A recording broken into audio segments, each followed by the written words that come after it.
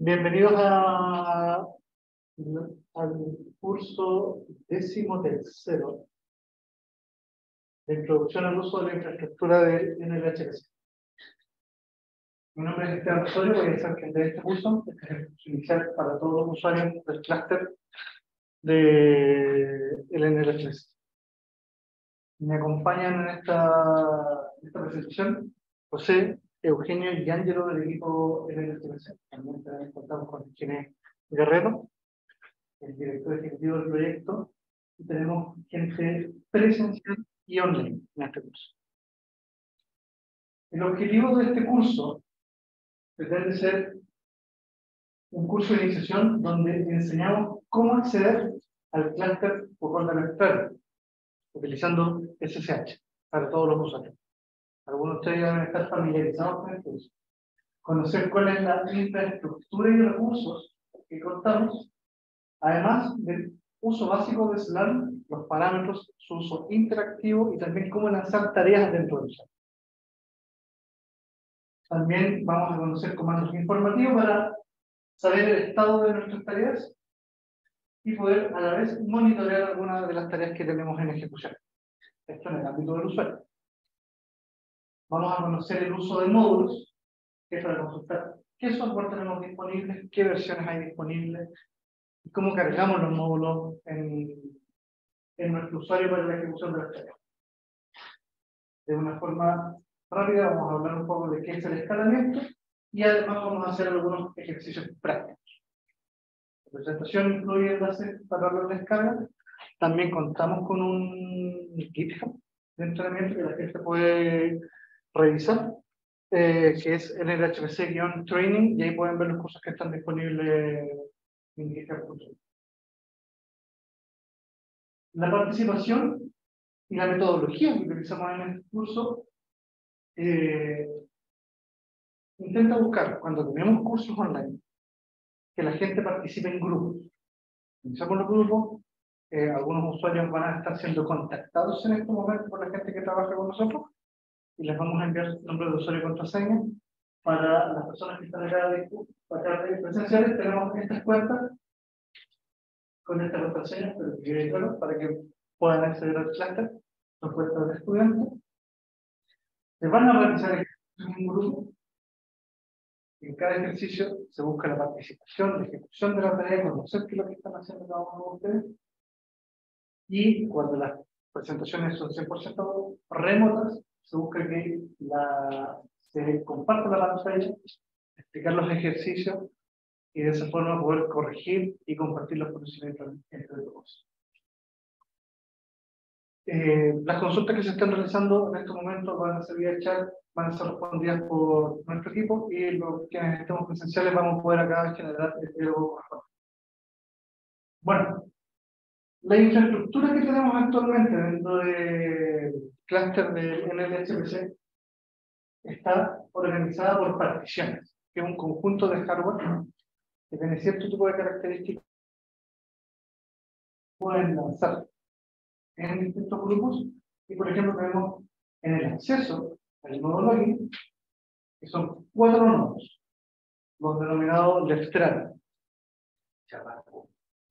¿Se escucha más? Sí, está seleccionado el micrófono. Eh, voy a intentar dar, aumentar el volumen al máximo. Y, y bueno, los cuatro nodos login eh, actualmente son máquinas Intel Xeon con CPU E5 2660 cada uno de, estos servidores tiene 20 CPU con 59 GB de RAM disponible, conocido como la partición de página. En esta partición los usuarios pueden lanzar tareas, pueden funcionar directamente. No es nuestra partición por defecto para la ejecución. Tiene ciertos límites de tiempo. Cuando lanzamos una tarea en Slam, 30 minutos como mucho. Sobre el estado de acceso y pruebas de compilación. ¿Ya? Son cuatro minutos. Tenemos los nodos Slim, que son nuestra partición por defecto.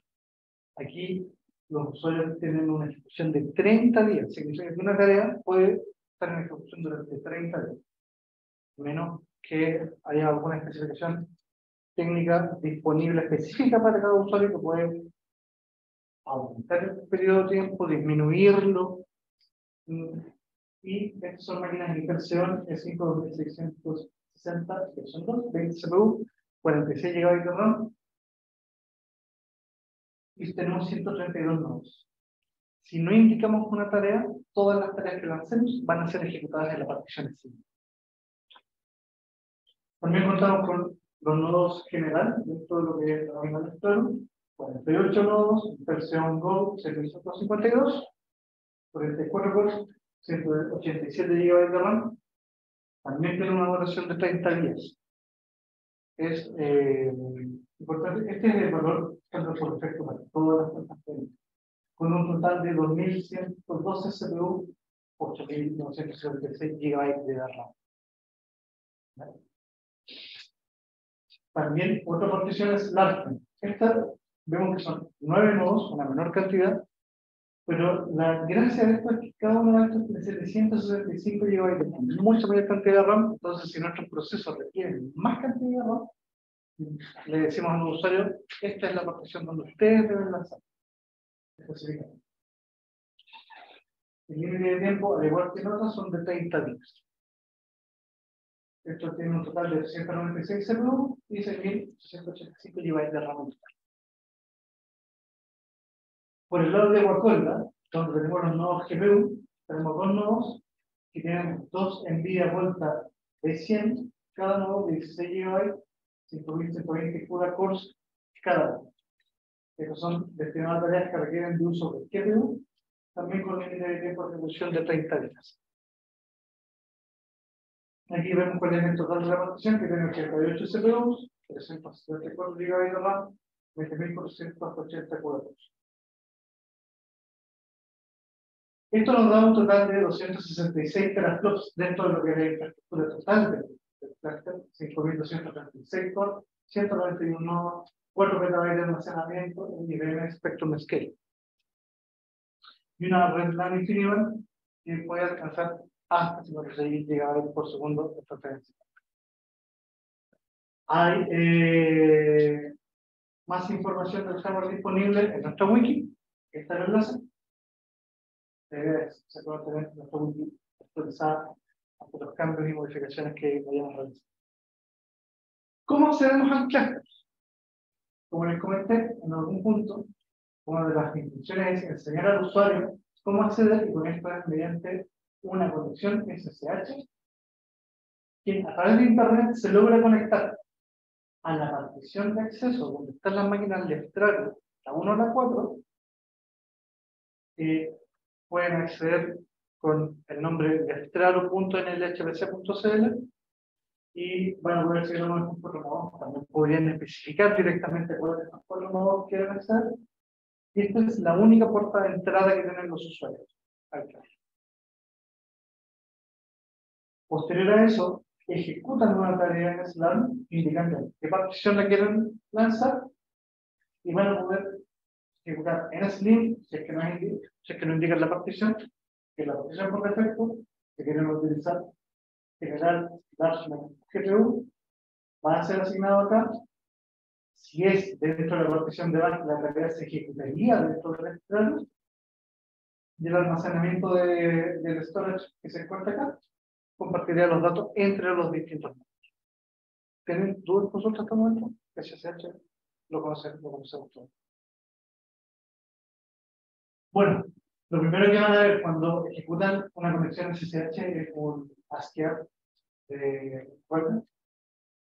Se utiliza SSH en nombre de usuario arroba del en Linux y en Mac OS, es una terminal, en Windows recomendamos el uso de la aplicación PuTTY. También se han hecho algunas pruebas en las versiones más recientes de Windows que a través de la misma línea de comando ya viene incluido un cliente SSH y también es posible hacer.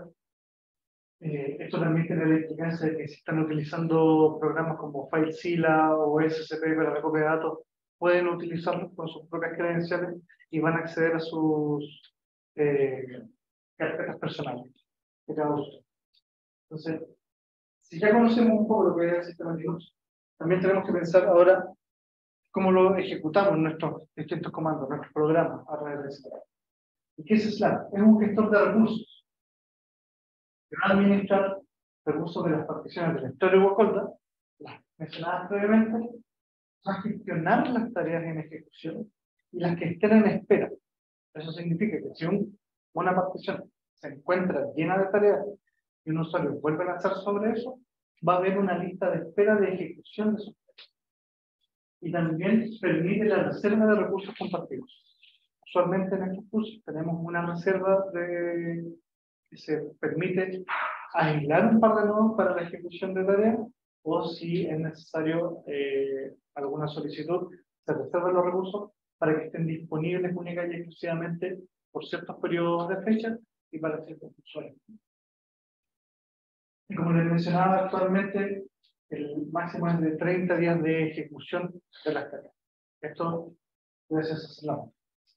Además, eh, es posible tener cierto control de la cantidad de CPU que puede utilizar una persona. Eh, existen las prioridades de las tareas, lo que permite que entre. Un sinfín de otras actividades permiten. ¿Cómo tenemos información de las partes? Bueno, si ya tienen y si pueden el acceso de sus cuentas, vayan probándolas por favor libremente. ¿Cómo sabemos en qué existe? ¿Sí? Pueden empezar de... Claro, no, no hay problema. Y al mismo tiempo pueden acceder, todos si quieren a la misma cuenta, podrían accederlo, en este caso como estudiantes, para probar. Se han realizado pruebas que varios usuarios acceden a la misma cuenta y no hay problema. El comando sinfo permite ver el estado de las particiones. Al ejecutar este comando, me va a mostrar la información de las particiones, el estado en que se encuentran, si están disponibles, el número de nodos asociados al estado de la partición y la lista de los nodos. Por ejemplo, en el primer caso vemos las que están marcadas acá con un asterisco, indica que es la partición por defecto. Tenemos cuatro filas. La primera en un estado brain que corresponde al CN036 vemos que hay estados mix, un estado alloc o allocated, un estado idle. ¿Qué significan estos estados? Drain es un estado en donde las tareas que se encuentran en ejecución van a finalizar y no van a poder entrar más tareas a este nodo específico. Un estado mix significa que el estado de nodo será disponible en esa lista tienen tareas en ejecución, pero tienen recursos disponibles para la asignación de nuevas tareas. Es decir, estoy utilizando un tercio de la potencia del nodo CN023. Entonces, es posible que si una tarea requiere, requiere menos recursos, el mismo nodo CN023 los tome y los me Allocator son nodos que se encuentran utilizados en su totalidad y no pueden entrar más tareas dentro de esos nodos hasta que las tareas en ejecución finalicen. Idle corresponden a nodos que se encuentran disponibles libres de carga de trabajo.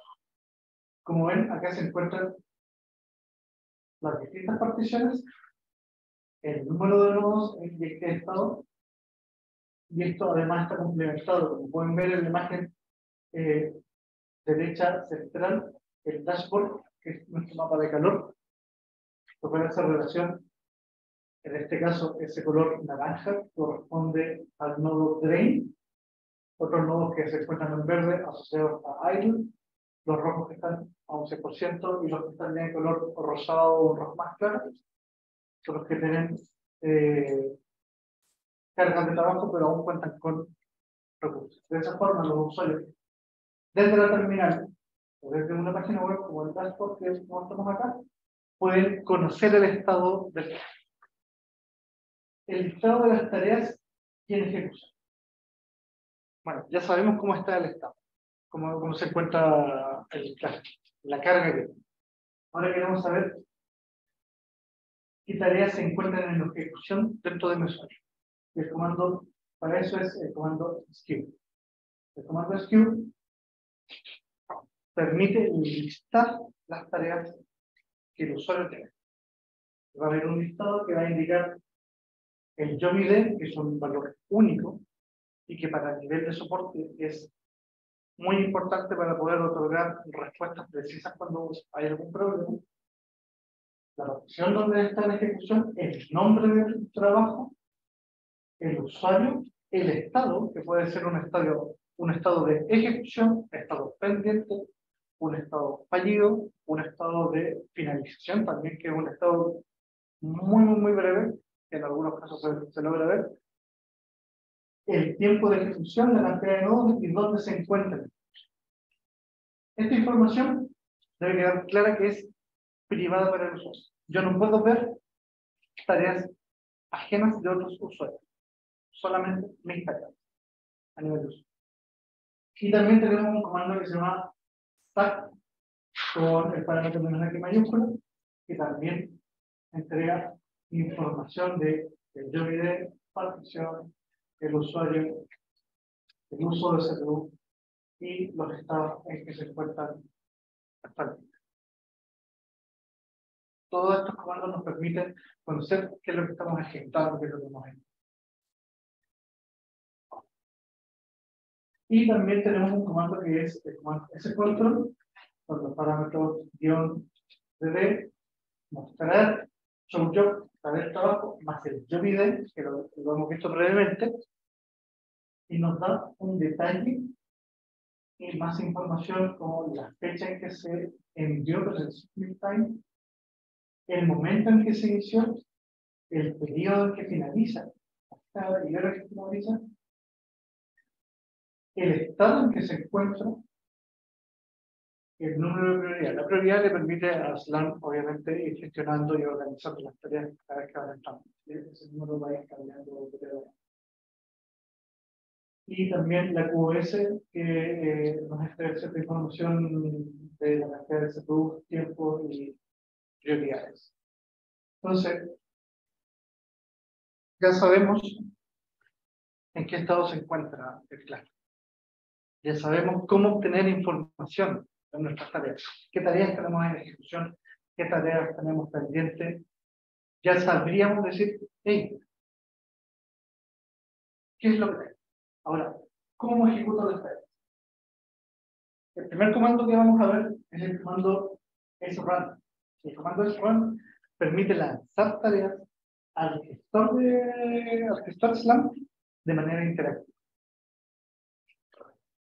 Y la forma más sencilla es ejecutar el run con un comando.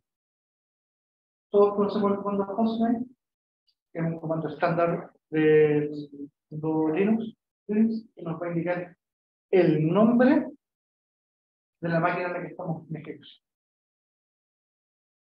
Si yo me encuentro en la máquina de extraer y ejecuto directamente hostname, ¿Cuál sería el nombre del resultado de, ese comando? De José. Estoy en la máquina de estado. Si ejecuto solamente José. Correcto.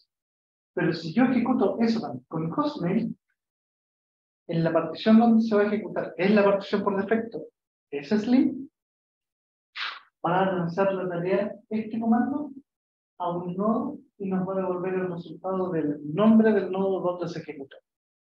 Si yo indicase, por ejemplo, eso, espacio, guion, P, que indica la partición, y coloco general, ejecuto hostname, el comando hostname se va a ejecutar en un nodo de la partición general. Pasaría lo mismo si indico nombres de otras particiones. La forma no interactiva de mandar comandos al gestor es ejecutando batch y agregando un script. Entonces, yo lanzo con SBatch más el script de ejecución y me va a indicar se ha enviado el job y el número de ID a la cola de trabajo. En ese momento, la consola se queda disponible para nosotros la tarea puede que entre en ejecución, puede que quede pendiente, y es ahí donde yo podría ver con el comando SQL el estado en que se encuentra. Si entra en ejecución inmediatamente porque hay disponibilidad de recursos o si la tarea que se envió debe quedar en espera porque los nodos están plenamente utilizados. Y en el caso de que necesitemos cancelar nuestra tarea, utilizamos el comando cancel Se puede cancelar la tarea tanto en estado pendiente como en ejecución. Si ya está finalizada, vamos a cancelar.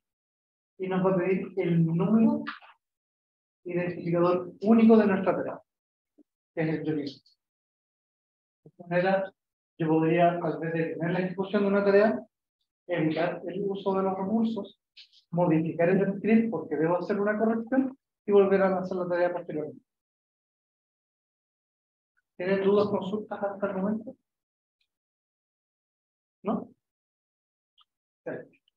Bueno, les he hablado del parámetro menos P por el nombre de la partición. Eh, les hablé del nombre de la tarea, eh, que cuando uno solicita una lista, eh, asignación de recursos, cuánta cantidad de CPU es la que vamos a utilizar. Y es aquí donde entran los parámetros de SLAP. El primer parámetro, que es muy importante, que es el menos J, permite indicar el nombre de la. De esa forma yo puedo saber que estoy lanzando tal vez mi escribo en Python, mi aplicación matemática, etcétera, y tener un descriptor humanamente leíble nos puede explicar, ah, esta es mi, esta es mi tarea, esto es lo que estoy haciendo. El parámetro menos P indica la partición a utilizar. Si no lo indicamos, vamos a utilizar la partición que está perfecta. El parámetro menos n es el número de procesos que queremos lanzar. Entonces, si queremos lanzar varios procesos similares, vamos a utilizar una mayor cantidad del menos. El parámetro menos c nos va a indicar la CPU necesarias a utilizar. Vamos a hacer algunos ejercicios prácticos. Vamos a ver que de repente tener una gran cantidad de CPU no tiene sentido si mi comando no lo necesita o si lanzamos varios procesos, vamos a ver que el programa se ejecuta en distintos nodos. Y tenemos un parámetro, si se dan cuenta, es guion guion n tasks per node, en una por nodo. Si yo debo lanzar 100 tareas, 100 procesos, menos n 100, yo quiero que utilice la menor cantidad de nodos, yo no voy a agrupar. Yo lo voy a agrupar por la cantidad máxima de nodos que tenga cada partición. Entonces, en estas no 20, si yo no 60, me va a utilizar 5 nodos. Si yo me indico en estas nodos que lanzo 100 procesos, SLAM va a decir, necesito 100 CPUs, puede que estén en distintos nodos. Y los va a despegar tal vez en 10, 5, 15, los que estén disponibles. Eso puede afectar la, el tiempo de ejecución de su. Y también el parámetro member CPU indica cuál es la cantidad que cada proceso debería estar utilizando. En caso de que yo asigne una gran cantidad de CPU y el número de procesos, el número de cores asignados resulte en un valor más alto de lo que tiene una partición, es probable que obtengamos su tarea no puede ser ejecutada porque la combinación de recursos solicitados versus el hardware no está disponible que también es importante tener claro. Y nuestras tareas tienen siempre datos importantes a, a considerar, que es su salida y sus errores. Y aquí vienen estos parámetros. En lo personal considero que son bastante importantes, pueden ser muy reveladores. El primero es el menos O, que es la salida estándar. Sabemos que en Linux tenemos la salida estándar, la salida estándar de errores y eh, la entrada. Entonces, con el menos O, yo le puedo indicar qué archivo quiero que quede el resultado de mi aplicación. A menos que mi aplicación directamente escriba en otro archivo, en otra carpeta, ahí ya hay la gestión de, las aplicaciones utilizando. Pero si yo indico el menos O, es probable que todo lo que salga correctamente a la salida estándar quede almacenado en este archivo. Y el parámetro menos E es la salida estándar de errores. Es uno de los más importantes para cuando queremos resolver problemas de los usuarios. Así que cada uno de los usuarios, cada vez que tenga un problema, siempre solicitamos el YoVID e inmediatamente vamos a ver si ese YoVID tiene este parámetro indicado en el buzón. Pues bien, ¿cómo puedo yo identificar? Si tengo una tarea que debo lanzar n cantidad de veces y no quiero que la salida estándar o la salida de errores se sobreescriba. Porque voy a estar lanzando reiteradas veces mi misma aplicación por distintos motivos. Y es ahí donde ustedes pueden utilizar este parámetro que se encuentra en la columna uso, que es porcentaje J en este parámetro. El porcentaje J, porcentaje J minúscula, va a reemplazar dentro del, nombre del archivo, va a decir salida, underscore, y va a agregar el job ID. De esa manera, cada salida, sea de error, sea estándar, va a venir con el número único de identificación de nuestro trabajo. De esa forma, uno podría hacer un análisis indicando la primera vez que yo ejecuté mi tarea funcionó correctamente, pero la segunda me falló. ¿Por qué? Tal vez el archivo de error indica que hubo un out of memory, tal vez el nodo en ejecución presentó algún conflicto de comunicación, o puede que simplemente eh, mi usuario haya quedado sin cuota de almacenamiento. Y así evito sobreescribir. Ha pasado que usuarios dicen, no tengo mi archivo de, de errores, no tengo mi archivo de salida, y al revisar los parámetros que utilizan, el porcentaje J es omitido. No de manera intencional, sino que de manera accidental. Y como la comunicación es importantísimo para poder indicar al usuario, hey, tu tarea funciona. Porque si tengo una tarea que dura 30 días, ¿en qué momento le avisamos al usuario? Y es ahí donde los parámetros guion guion mail user y guion guion mail type entran en acción. El correo electrónico del user va a ser la comunicación directa con el usuario entre el gestor de tarea y se le va a indicar al usuario. Su tarea está pendiente. Su tarea comenzó a ejecutarse. Su tarea vez falló. Su tarea finalizó con éxito. Como son distintas comunicaciones, también hay un mail type, que indicamos que usualmente utilizan todos, pero es posible indicar Infórmame exclusivamente cuando mi tarea finalice.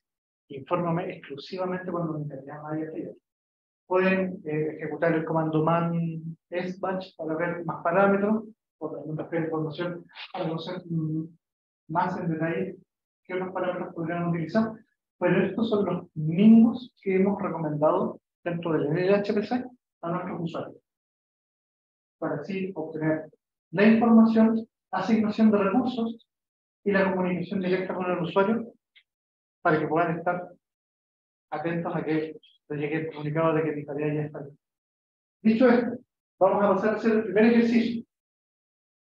Ya sabemos acceder al cluster, vimos que era con SSH, vimos que las cuentas de usuarios están acá las contraseñas y las personas que nos acompañan de manera remota eh, deberían estar ya con sus cuentas asignadas vamos a acceder al cluster y vamos a ejecutar el comando hostname en la partición sname con el comando de swap.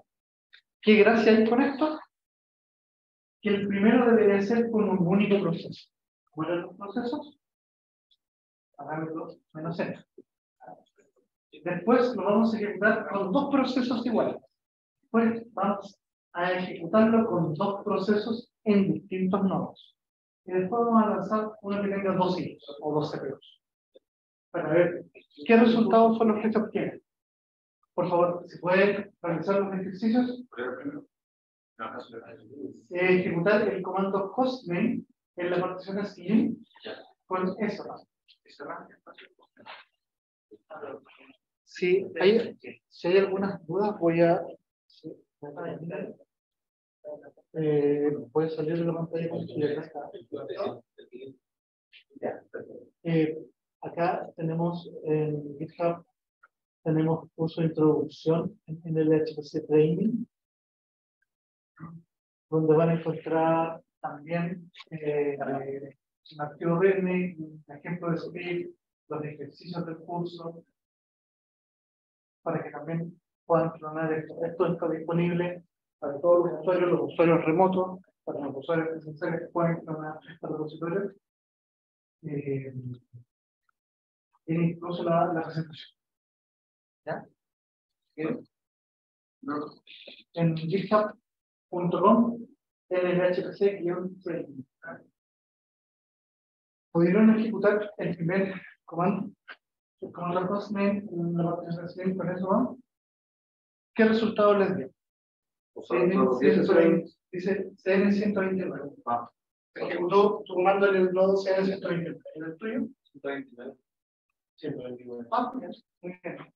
Todo 129. Ese no está. Está disponible, 100%. También se CN129. Muy bien. ¿Cómo ejecutaríamos dos procesos iguales? Es muy buen punto, pero si quisiéramos lanzar una única tarea con dos procesos, menos n. Menos n. Dos, ¿cierto? ¿Y qué resultado le envió ejecutando la combinamos n2? 129 dos veces. Ahora, ¿cómo lo podemos ejecutar con dos procesos en distintos nodos? Pero seremos el todos menos C mayúscula opción. Yo le puse ¿Y? Me ejecutó en el 122 y en el 117. Ya. También sería posible, ¿qué grupo tengo? También podría ser menos N2 y no igual 1. Y si lanzamos un proceso N1, ¿no es cierto? Con CPU 2. Y que alguien me explique esa, lo que va a ocurrir. ¿Qué resultados solo. Uno solo. ¿Será que reserva dos, dos, uh, reserva dos cores, pero corriendo solo en un, de, una tarea para Una única tarea, correcto. Ok. Bueno, ya podemos ejecutar un comando muy sencillo, Postgres, de manera interactiva. Si esto fuera un comando más complejo, si fuera un, un script mucho más largo, podríamos asignar mayor cantidad de procesos, agruparlos en las particiones en los, nodos y asignar más CPU. Es un comando bastante pequeño que va a responder el nombre de nuestra máquina. Entonces, en la partición así, según lo que hemos visto, ¿cuál sería la cantidad de cores máximos que podríamos reservar por proceso? En ese es hasta 20. Porque es como el número de, de procesadores que tiene. Ah, ¿Qué diferencia, puede ser otra pregunta, ¿sí? diferencia hay en la partición general? Pueden ver también la presentación que está dentro del GitHub. ¿Qué ocurre si reservan más códigos? Sacar como pendiente. Si reservan más códigos, No, que como no resulta varios. Puede indicar que no hay recursos disponibles.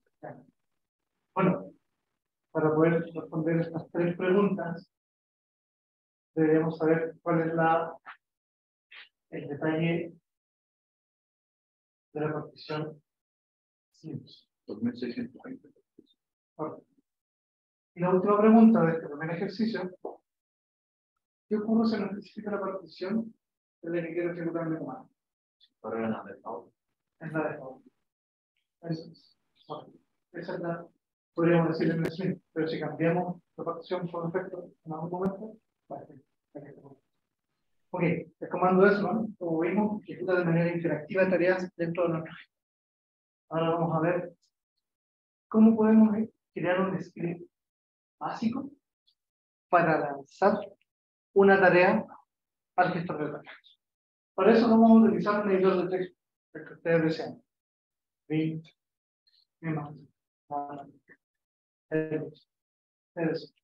Vamos a comenzar clásico en batch con el shebang, el símbolo numeral más información.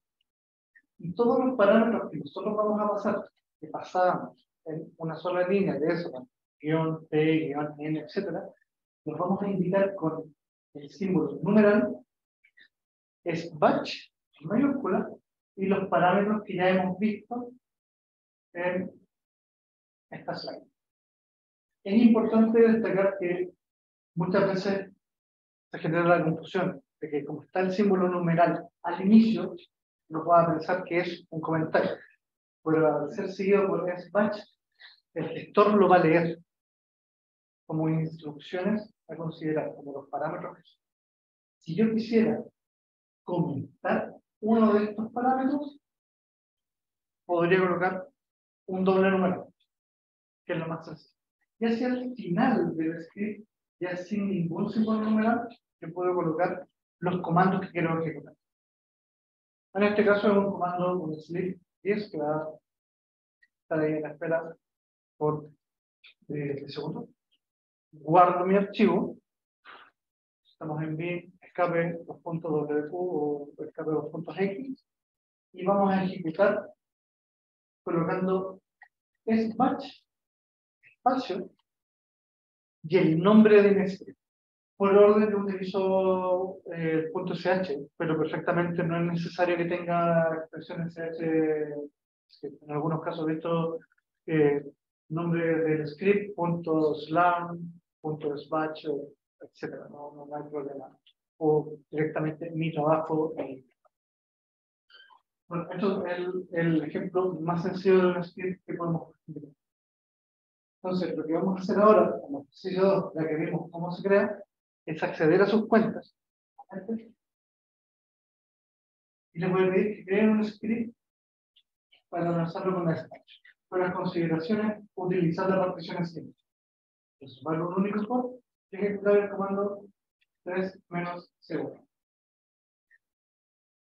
El comando es 3. Pone la indicación de que, a pesar de que comienza con S, no, tiene, no tiene relación directa con slam. Hay gente que piensa que, que porque comienza con es nada, se genera esa confusión, pero es un comando que simplemente va a colocar a prueba el hardware de nuestra máquina durante un tiempo ilimitado. Y ahí nos vamos a hacer la pregunta. ¿Cuánto tiempo va a estar en ejecución esta red? ¿Qué comando puedo utilizar para la obtención de información acerca de la tarea en ejecución? ¿Cómo puedo cancelar mi tarea? Eso va a ser lo primero de nuestro ejercicio. También vamos a poder responder cómo sé el estado del cluster para poder pensar dónde quiero ejecutar. Este, este, ejercicio también se encuentra disponible dentro del GitHub de, del en Training, en el curso de iniciación. Y también en la guía de, de la solución están cuáles son los objetivos de, de cada uno de los ¿Tienen dudas para la realización de esto? ¿Lo hemos podido realizar? ¿No? Ok. ¿Cómo lo fallamos? ¿Que me pueden contar con ellos? ¿Ya ejecutaron? Sí. Excelente. Sí, sí. Entonces, ¿cuánto tiempo va a estar en ejecución esta loco? Eh, máximo 30 días. Sí, 30 días, porque es el que tiene tiempo de límite en la partición. 30 días por Sí, necesitamos uno para el máximo. Pero antes por el micrófono ambiental. La, la pregunta es cuánto tiempo está en ejecución. En este caso sería el script porque el script es menor que el tiempo de one time. Eh, Ah, estaba hablando del ejemplo del split 10 de acá, correcto. Claro, aquí con este ejemplo del split 10 va, va a finalizar. Pero el ejercicio indica ejecutar el comando 3 menos 0. Ah, Sí, no, no hay problema. Entonces, va a ser máximo de 30 días por, el límite de Ah, tiempo. por la configuración que tiene la partición. Correcto. Ahora, las cuentas de estudiantes tienen una limitante, no recuerdo exactamente cuál era, pero tienen menos Tres de días. tres, tres días de Ah. como son cuentas de estudiantes, y ahí es donde entran ciertas características de las cuentas estándar, cuentas de estudiantes, y ahí uno podría ir controlando los distintos tipos de usuarios. Yo tengo una pregunta. Eh, la, ¿El límite de tiempo tiene por cubos o directamente por electron.com? Porque, Por QoS. ah, ok, sí, porque estaba viendo que no tenía límite de tiempo en los Control Show Partitions. Ujú. Ok, para tener en cuenta. Pero no quiero poder ejecutar ese control show job más el job ID. Por eso respondemos que mando utilizo para la información, ejecutar un SKU para ver cuál es el job ID. Pueden ver que QS es la que tiene su estudiante. Y la QS creo que es students. La QS de las personas. Eh, pues, sí. Ahí hay un límite de tres días para estos casos. Ok. Ok, si voy a estar esperando que mi tarea de un estrés segundos, por ejemplo, ¿cómo lo puedo cancelar? Se cancel y el líder del o ese cancel y el nombre del usuario, dependiendo de cuántas tareas están en ejecución. Exacto. Y ahora, si yo tuviese toda gran cantidad de, de nodos, ciertas particiones completas y necesito ejecutar una tarea, ¿qué otras opciones tengo? ¿Cómo sabría qué particiones tengo disponibles? ¿Dónde ejecutarlo? ¿El comando? Sí. Es ahí. Y ver el estado actual de las particiones. ¿Algún caso han tenido que yo demore más de 30 días?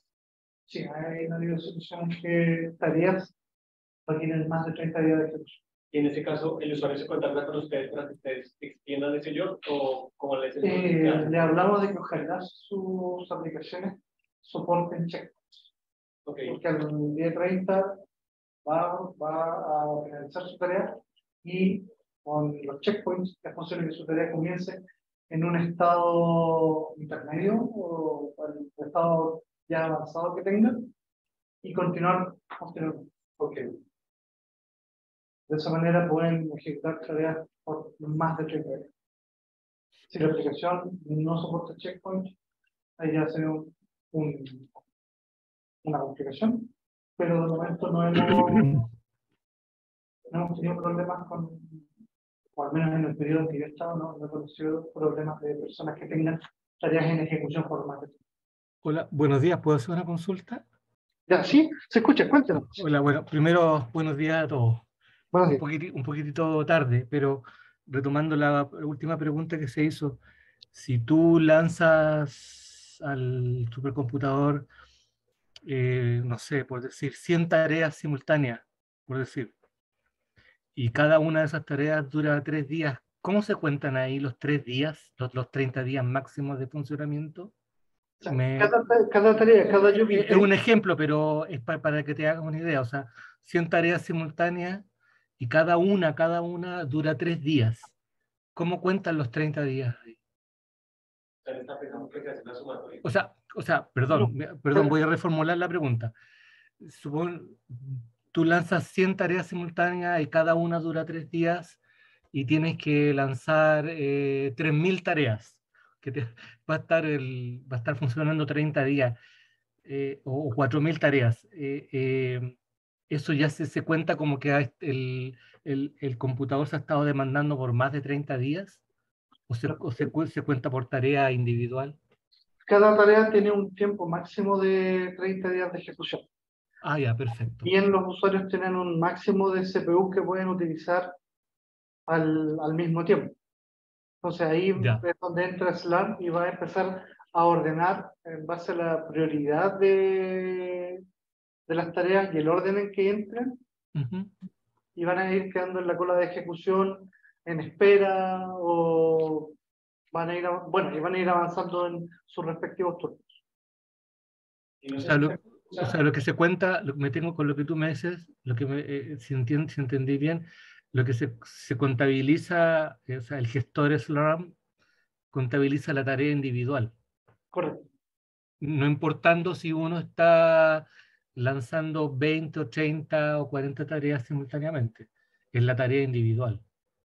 Claro, igual existen procesos de monitoreos de tareas donde eh, gente de nuestro equipo puede contactarse y solicitar tal vez algún cambio o alguna cancelación de tarea que se encuentre en estado pendiente. Ah, ya, perfecto. Claro, este es un monitoreo, un monitoreo automatizado, un monitoreo también activo por nuestra parte, y bueno, velamos para que todos los usuarios puedan acceder a los recursos y que no exista eh, un, un, uso indiscriminado de, de, de, del hardware dejando a muchas personas fuera. Ok, ok.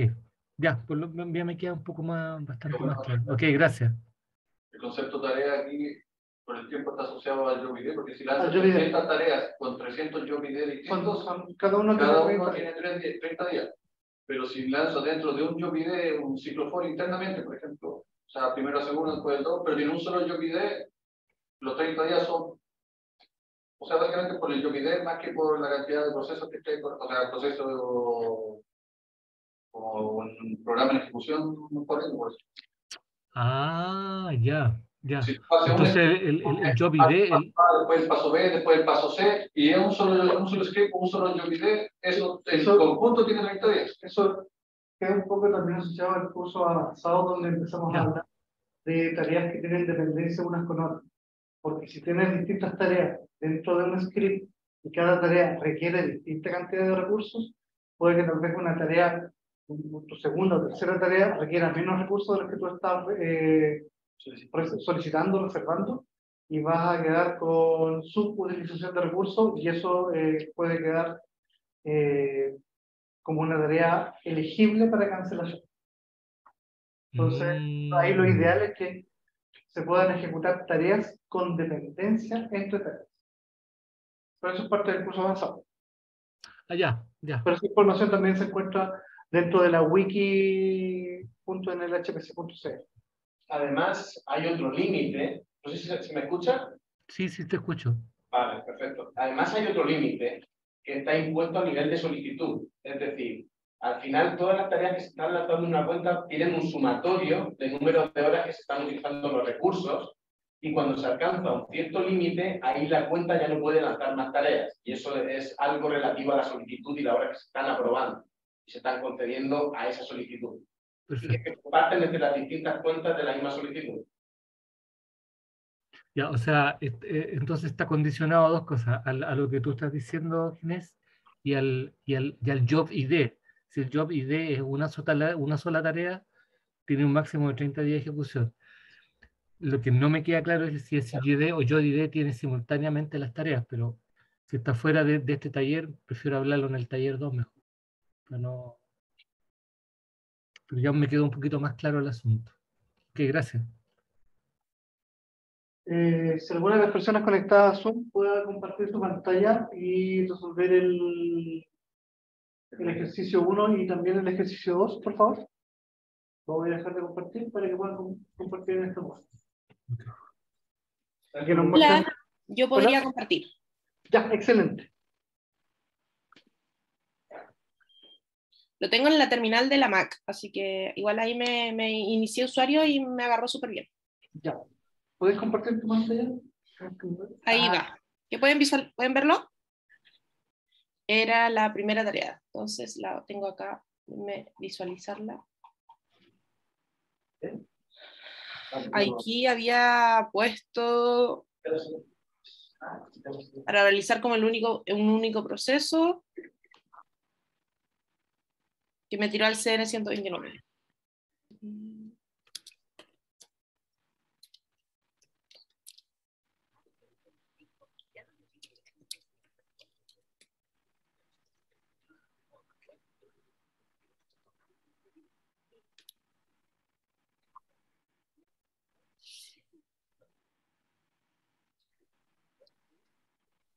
Ahí está con los procesos.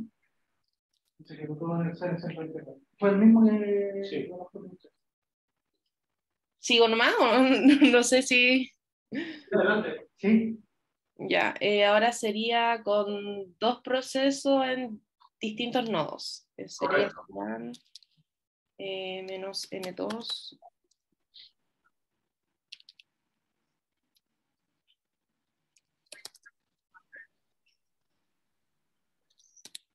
Es, es con S, ¿no es cierto? Alfa, alfa. Sí, en el task. Ya, node. Igual. no. Y el José. Ya, creo, creo que está bien, a ver. Ah, sí, ahí me asignó dos. Dos distintos. el 056 y el CN051. Lanzando un proceso que tenga dos hilos. Ya, este, este no sé muy bien cómo hacerlo, así que creo que con el C menos C deberíamos hacerlo con 2. ¿Y cuántas van a salir por pantalla? ¿Cuántas salidas van a ver? A priori. Eh, ¿Dos? ¿Quién dice la sala algo distinto? Igual ya que creo que la acá. ¿Qué dicen acá?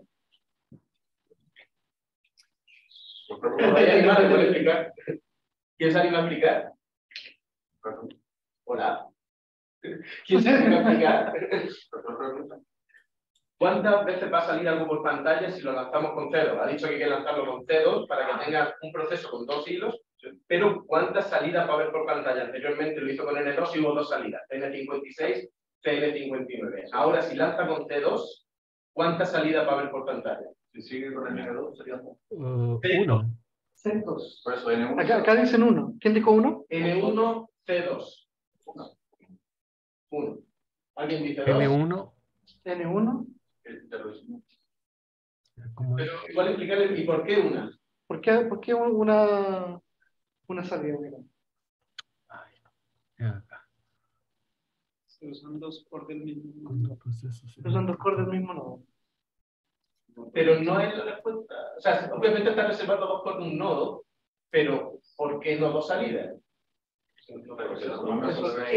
Porque es el mismo proceso, es un único. Debería ser un, un único. Dos hilos. Con dos, como no reserva dos cores, no tiene dos hilos. Eh, uno. Entonces, así, está- pantalla. así estaría bien. ¿Sí? ¿Correcto? Ah, ya. Ah, ahí está bien. CN 129. Pero si se dan cuenta, también indica cuál es el job ID eh, que se ejecutó. Que es lo que había indicado que al ejecutarlo de modo interactivo, también hay una asignación de un. Eh, Y ahora la siguiente pregunta es, en la partición SLIMS, ¿cuántos cores, cuántos núcleos puedo reservar por proceso? Eh, Hay que, a ver. 20. Correcto. Hay 20 núcleos en cada uno de los nodos, así que 20. ¿Qué diferencia hay con la partición general?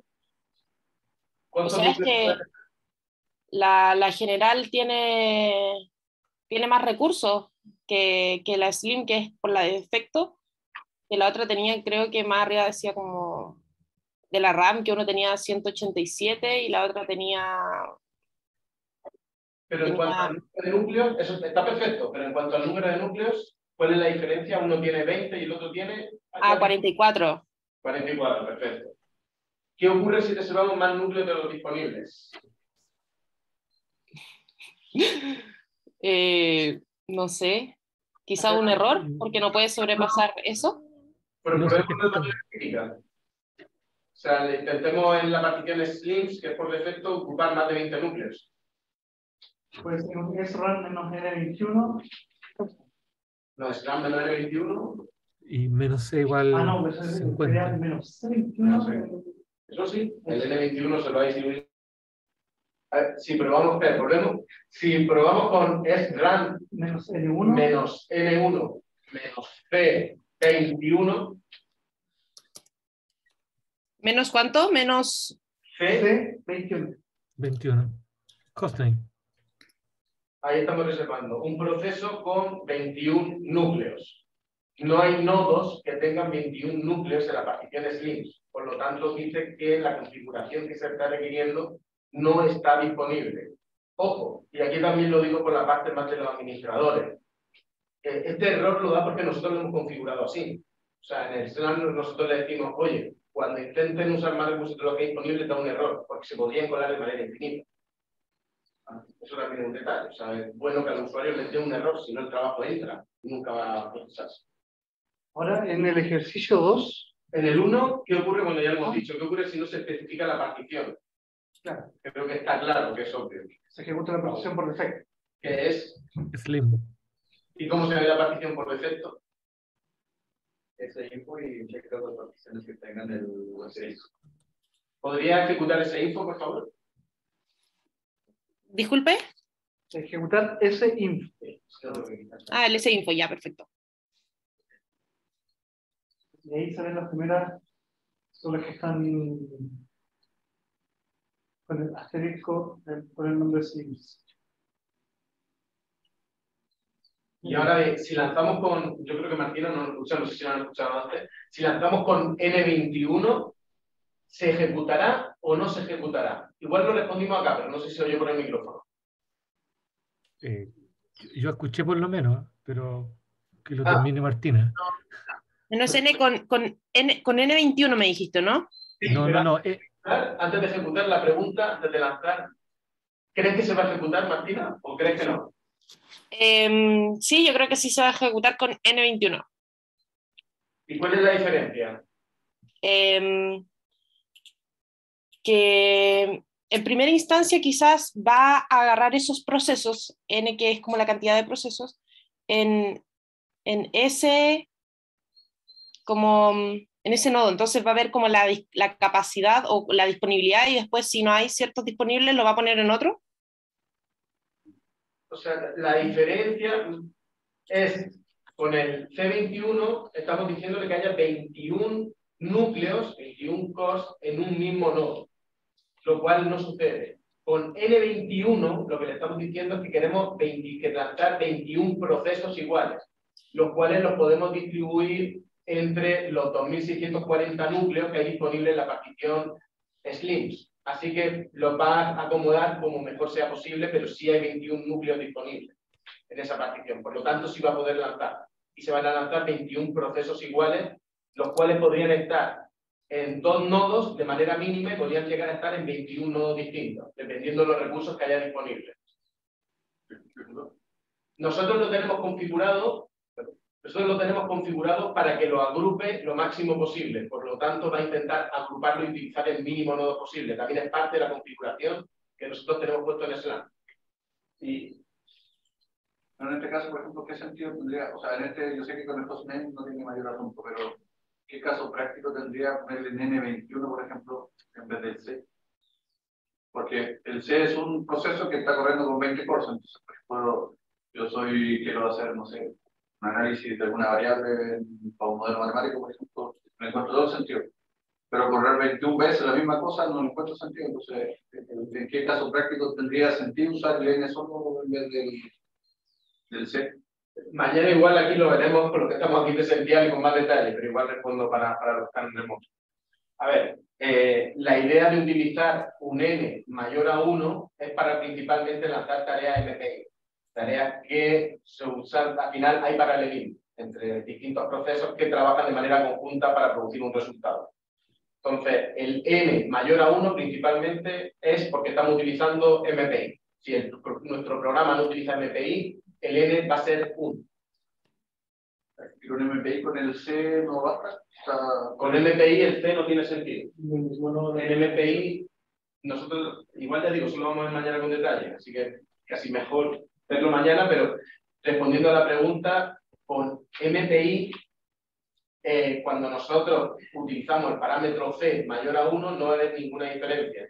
Porque en MPI lo que nosotros estamos lanzando es procesos. Si nosotros queremos lanzar 10 procesos MPI y ponemos menos C10, lo que estamos haciendo es lanzar un único proceso con 10 hilos de los cuales uno va a estar computando y nueve van a estar ociosos, completamente ociosos. Así que lo único que estamos haciendo es malgastar recursos. Pero eso es parte de lo que es del curso avanzado. Ahí estamos viendo cosas que no son de este curso. Una, una consulta. ¿Sí? Sí, no. Estaba, estaba leyendo el texto acá, dice que la partición Slim, que ya lo, lo mostraron, pero solamente para entender, dice 133 nodos, 32 nodos, 20 CPU, 46 GB en RAM. Eso es lo, esos 20 CPU y esas 46 eh, en RAM es lo máximo que le podría pedir por tarea. Porque si tú multiplicas 132 por 20, te da el total de la partición y te da el, creo que el total de, de RAM. ¿Así debo entender esta información? Sí, eso sería el total de la partición, efectivamente. Pero cuando Y dices, tarea perdón, requiere más recursos, podrías asignarle esa cantidad de recursos dentro de la partición. Ya, pero- configuraciones que si, si estás solicitando mayor cantidad de RAM, cierto límite, no recuerdo cuál es el máximo ahora en estos momentos, te recomienda lanzarlo dentro de la partición large. ya. Entonces, esos 20 CPU o 46 en RAM es lo máximo que yo le podría exigir al Slim para una tarea, por ejemplo. Claro, que sí, si es una tarea que Ya. va a ser secuencial, efectivamente. Ya, ok, ok, gracias. Bueno, eh, el ejercicio número dos era el lanzamiento de tareas. Eh, Martina, ¿podrías ver la ejecución de tus scripts? Primero ver el contenido de ellos y posteriormente su ejecución. Ya. Eh, dame un segundito.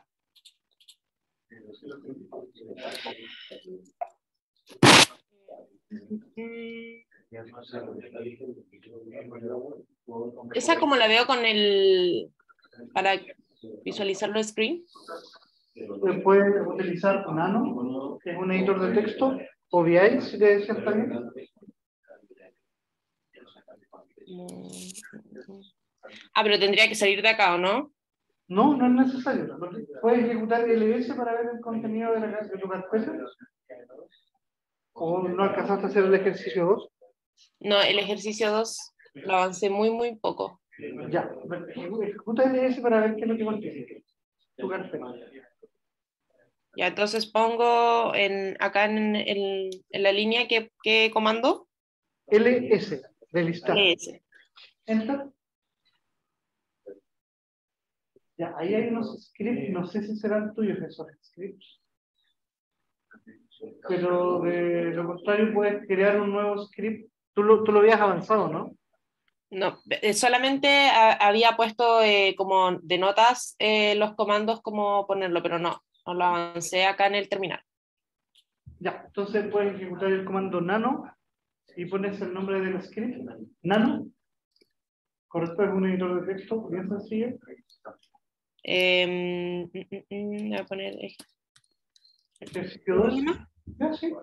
ya, súper. Enter. ¿Sí? Ya. Y ahora puedes escribir el, el, el ejemplo que se mencionó previamente. Comienza con el numeral, signo de exclamación. Ah, ya, ya, ya, ya, ya, lo tengo, lo tengo, lo tengo, lo tengo. Ok.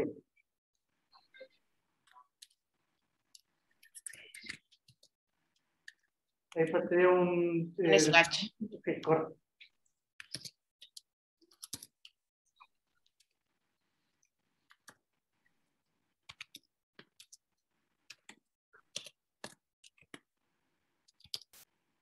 Por quiero el nombre.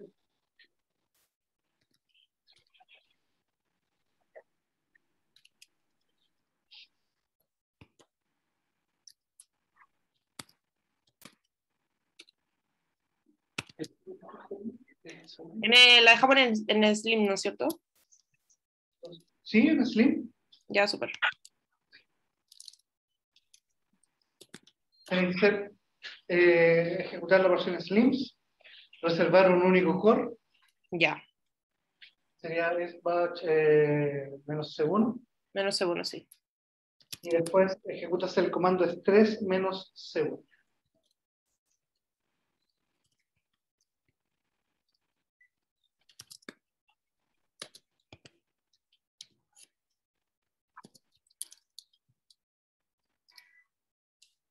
Bueno, eh, acá le pongo como lo mismo que aparece en... Puedes agregarlo, pero para efectos del ejemplo no es necesario la salida estándar ni... en la del error. Claro, o sea, en el fondo vamos a ver la información. Así que perfectamente Ya, ya Y 3 menos C1. acá 3 menos segundo, ¿o sí? 3, estrés como el estrés Ah, ya, ya, ya, ya. sí, en, en la línea siguiente.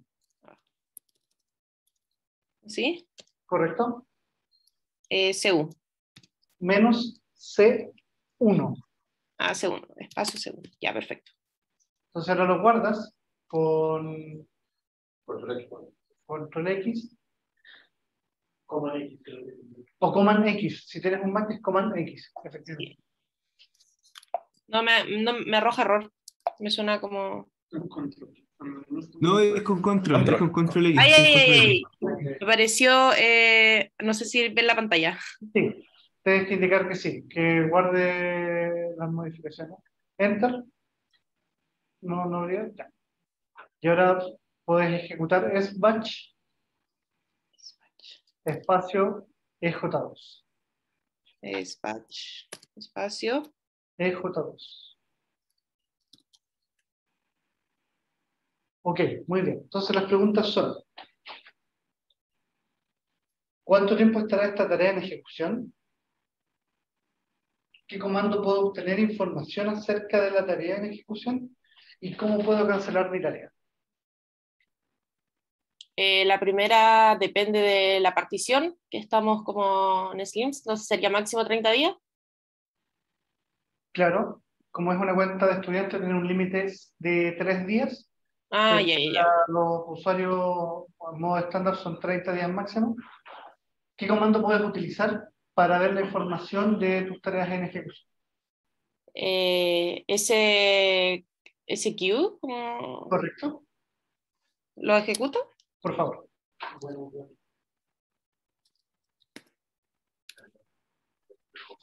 Ahí vemos que tienes dos tareas en ejecución, ambos en el nodo CN129.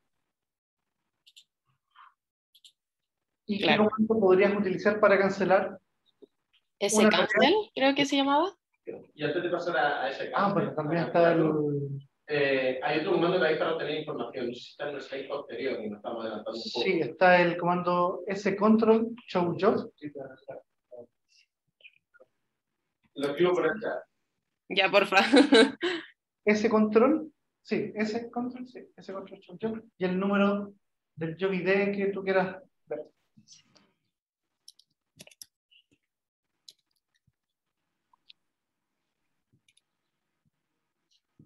Ahí salen todos, pero puedes que sigan un job concreto. Ah, salen los dos, claro. Sí.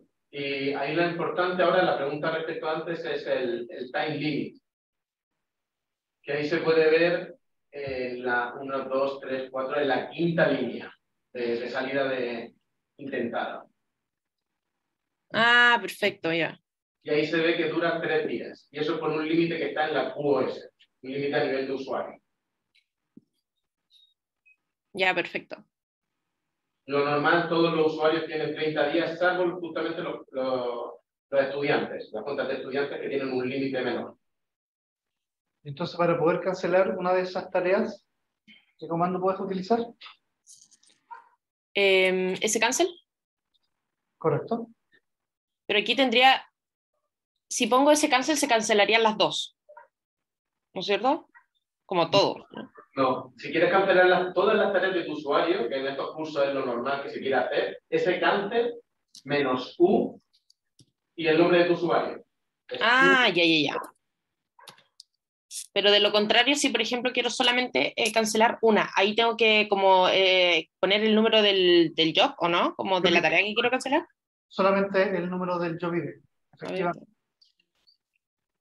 Por ejemplo, si quiero cancelar esta que está acá, sería eh, así, ¿no es cierto? ¿Se cancela? Correcto. Ah, ya, súper. Ahora, si ejecutas ese queue, vas a ver el listado actualizado. Ah, una sola, la otra. Una sola. Efectivamente.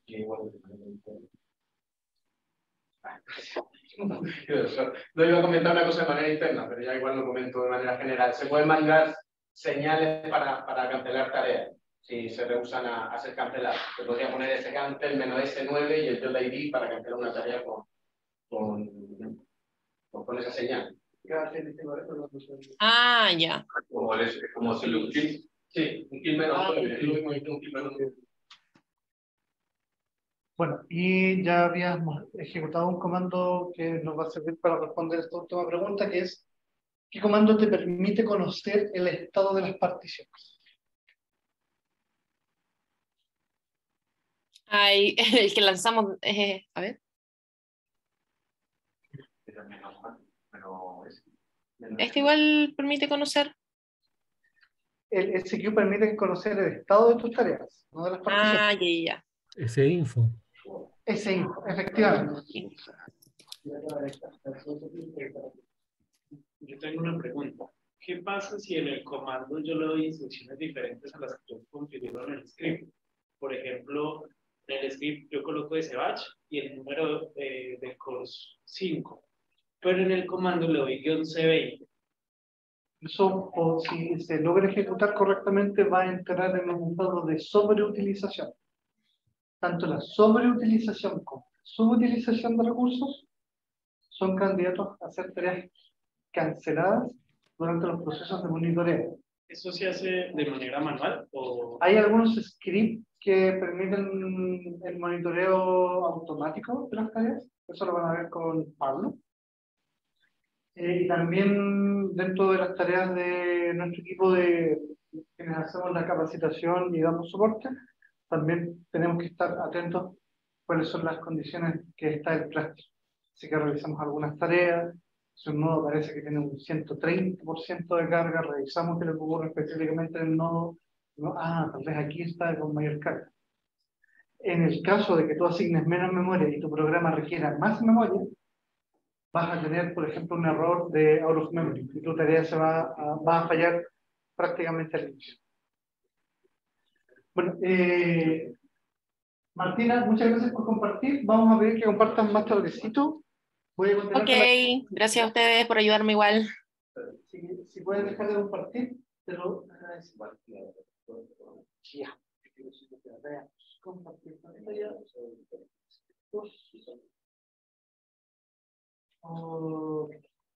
Hicimos el ejercicio 2. Ahora vamos a monitorear tareas con HK.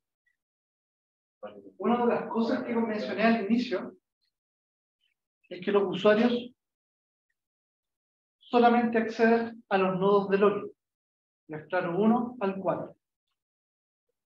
Pero ¿cómo puedo yo monitorear una tarea con esto?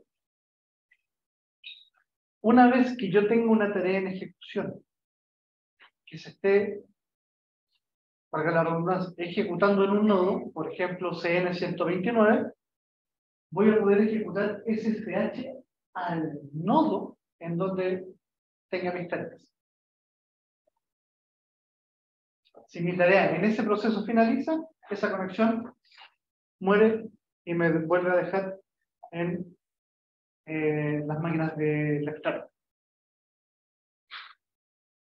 Entonces, si yo tengo mi tarea, por ejemplo, el comando stressor que estábamos ejecutando, que va a durar por tres días, yo perfectamente podría ejecutar un SQ, ver en qué nodo está, CN129, ejecutar SSH CN129 desde, me va a pedir la contraseña, ingreso la contraseña de mi Vamos a hacer un ejercicio de esto. Si quieren ir adelantando, no hay ningún problema. Bueno, vimos también que los usuarios necesitan crear scripts. Y eh, el equipo del NHPC ha preparado dentro de su wiki un generador de scripts, que es un formulario web, el cual solicita la selección de partición el tipo de tarea que vamos a ejecutar, si es secuencial, si es OpenMP, MPI, el correo electrónico, el nombre de mi tarea y los recursos que vamos a asignar.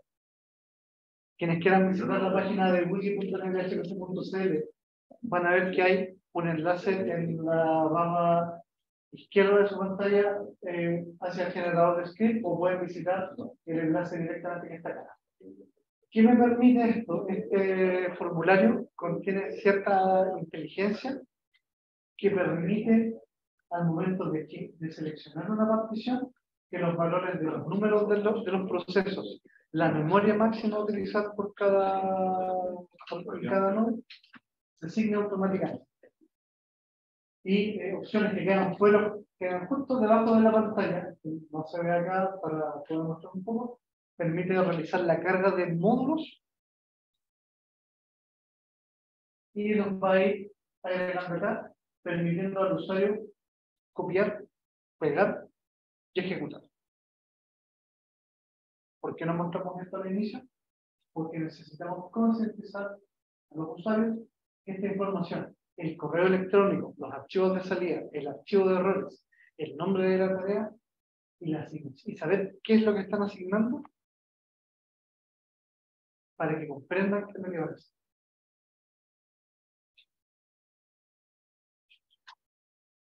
Ok, muy bien. Ejercicio número 3. Vamos a ver si quieren utilizar el generador de script o pueden utilizar su editor de texto preferido. Eh, vamos a lanzar un script para lanzarlo con SBatch con las siguientes consideraciones. La partición a lanzar es slims. Nuevamente, vamos a reservar un nodo completo. Y vamos a ejecutar el comando menos C40 menos T10M. Necesitaremos, una vez que lancemos nuestra tarea, verificar en qué nodo se encuentra en ejecución. Vamos a acceder a este nodo mediante SSH y vamos a ejecutar HTTP. Y vamos a ver cómo se comporta nuestro código. Vamos a ver cuántos procesos se están ejecutando, cuál es el porcentaje de uso de cada proceso y cómo sería la manera correcta o más eficiente de lanzar la tarea con el de que cada proceso se ejecute a un 100% o al menos lo más cercano a un 100%. Y vamos a tener que explicar qué es lo que pasa entre los puntos, los puntos previos a su lanzamiento. Eh, voy a dejar de compartir para que vuelvan a compartir pantalla. Martina, si quieres compartir tu pantalla para que realicemos el... Eh, abro lo... Quizás intento generar el script desde la página que enviaron. Bueno, pero recuerda compartir tu pantalla. Sí, sí, sí. Consulta, la idea sería enviar el ejercicio con la máxima cantidad de núcleos del nodo, ¿no? Claro, en un único nodo, la máxima cantidad de CPU disponible. Entiendo. Ya, acá eh, puse Slim. ¿Ya? Eh, este estaba por defecto. ¿Ya? ¿Excelente? ¿Sí? Eh, aquí puse mi mail. Eh, el nombre de la tarea le puse ejemplo 3. Ujú. Y, y- y- y para acá abajo, no sé si tendré que modificar algo, pero creo que no. Mira, ahí vamos a necesitar posteriormente que modifiques el menos C1, pero puedes copiar actualmente el script, haces clic en copiar y ahí puedes hacer un command C para copiar el contenido y ¿Ya? lo vas a poder eh, copiar en, En la terminal. en la terminal. Ya voy ahora a compartir la terminal porque no estaba compartiendo la pantalla completa. Y cuando se selecciona si son OpenMP o MPI, también se empiezan a abrir los distintos eh, campos del formulario para su edición. Ya, Entonces, como era un script con lo mismo, hice- como, el- o sea, no sé si está bien, pero seguí, puse nano para poder ponerlo acá. ¿sí? Y acá eh, guardo esto, ¿no es cierto? Pero Sí, ahí tendrías que ejecutar el estrés menos C40. acá, mismo- acá mismo, Ahí sí, sí.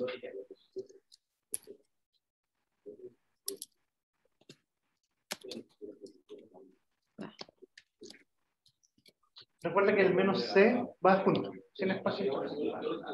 ah, todo junto. Sí, menos el guion, guion C es junto. Ya, perfecto, perfecto. Ahora sí entendí. Ya, lo lamento. Y guion T, espacio 10M.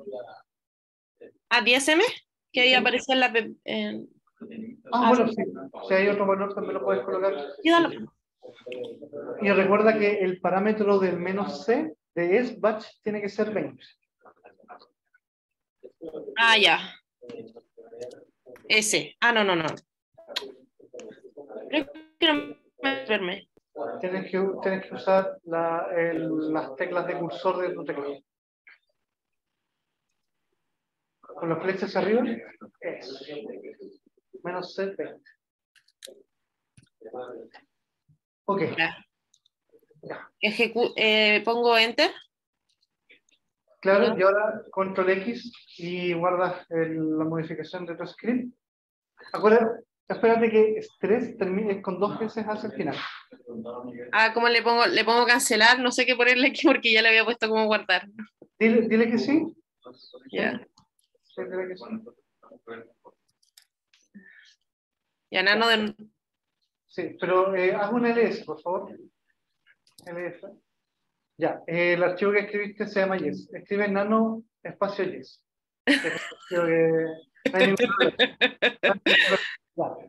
El estrés es con dos S. Tienes que ir con tu flecha del teclado hacia abajo y le agregamos la Ahí. Perfecto. Ahora control X. Eh, sí, Y, enter. Antes, antes de utilizar, porque igual me está haciendo aquí una pregunta que igual creo que interesa. El, me comentan si es que no va a funcionar porque hay un menos C40, porque antes veíamos que con C40 no iba a funcionar. Antes de ejecutar, que obviamente es lo siguiente que vamos a hacer cuando salgamos de acá, ¿qué pensáis? Pues pensar el sistema, porque es que ese menos C es diferente al... al, al Sí, lo va a ejecutar. Esa, esa es la respuesta correcta, efectivamente. El menos C40 que hay abajo en el estrés es un parámetro distinto que el de, que el de reserva del menos C20 que hay aquí. El menos C40 que hay abajo, que podía haber, el, el programador que diseñó estrés podría haberle llamado menos C, menos X, menos cualquier cosa, lo llamó menos C casualmente como el C20 que hay arriba. Pero lo que está diciendo abajo es lo que va a ejecutar y lo que está diciendo arriba es lo que va a reservar. Que debieran de coincidir, pero en este caso obviamente no coinciden. Ah, ya, súper. Entonces, guardas tu archivo, puedes presionar directamente Enter y vas a tener que ejecutar SBatch Yes, que es el nombre de tu tarea. Ah, ya, ya. ¿Así? ¿Está bien? ¿Sí? Ok, muy bien. Ahora Eh. tenemos que ver el estado de tu tarea. Puedes ejecutar el comando SQ para ver el estado de tu tarea. Y se encuentra en ejecución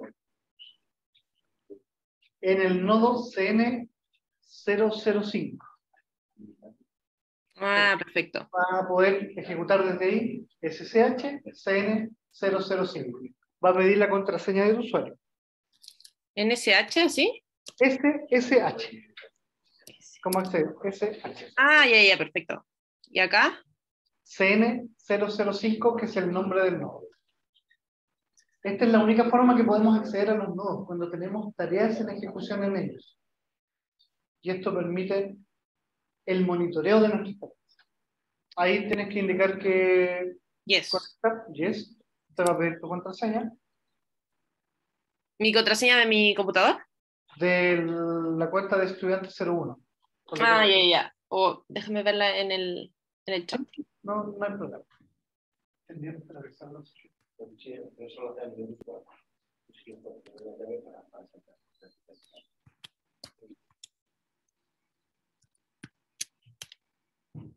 Qué raro. Y eso que ahora la hice sin... Ah, terminó el trabajo. ¿Terminó el trabajo? Sí, sí, míralo. Sí. Sí, no, el password está bien, el tema Sí, es que aquí todos los nodos están limitados a que no puedas entrar si no tienes trabajos corriendo. Entonces, el job que tenías corriendo en el CM005 ya habrá terminado y por Sí. lo tanto no puedes entrar. ¿Puedes editar el archivo yes nuevamente? Nano o yes. sea, hay que estar en- Sí. Que debe estar en 10 minutos. Ah, debe estar en minutos. Sí. Ah, dice, tiene que ser T10M. Vale, vale, vale. Sí. ¿Recuerda usar las flechitas? ¿Llegas hacia abajo? Sí, sí, sí.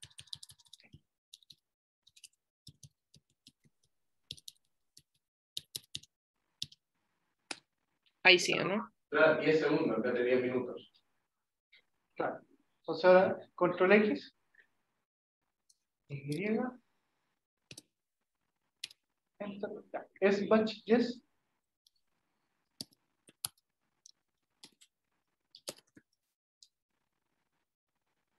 Y eh, execute para ver en qué nodo se está ejecutando la tarea terminal 351. En el CN 110. 117.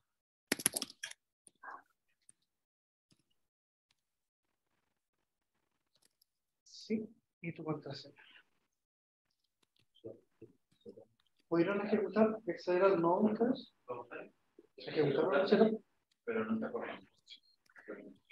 ¿Está en ejecución? Ese es. Eh,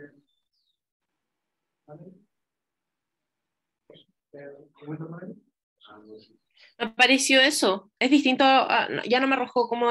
eh, Mira, si te das cuenta, dice CN 117. Por favor, ejecuta cheto.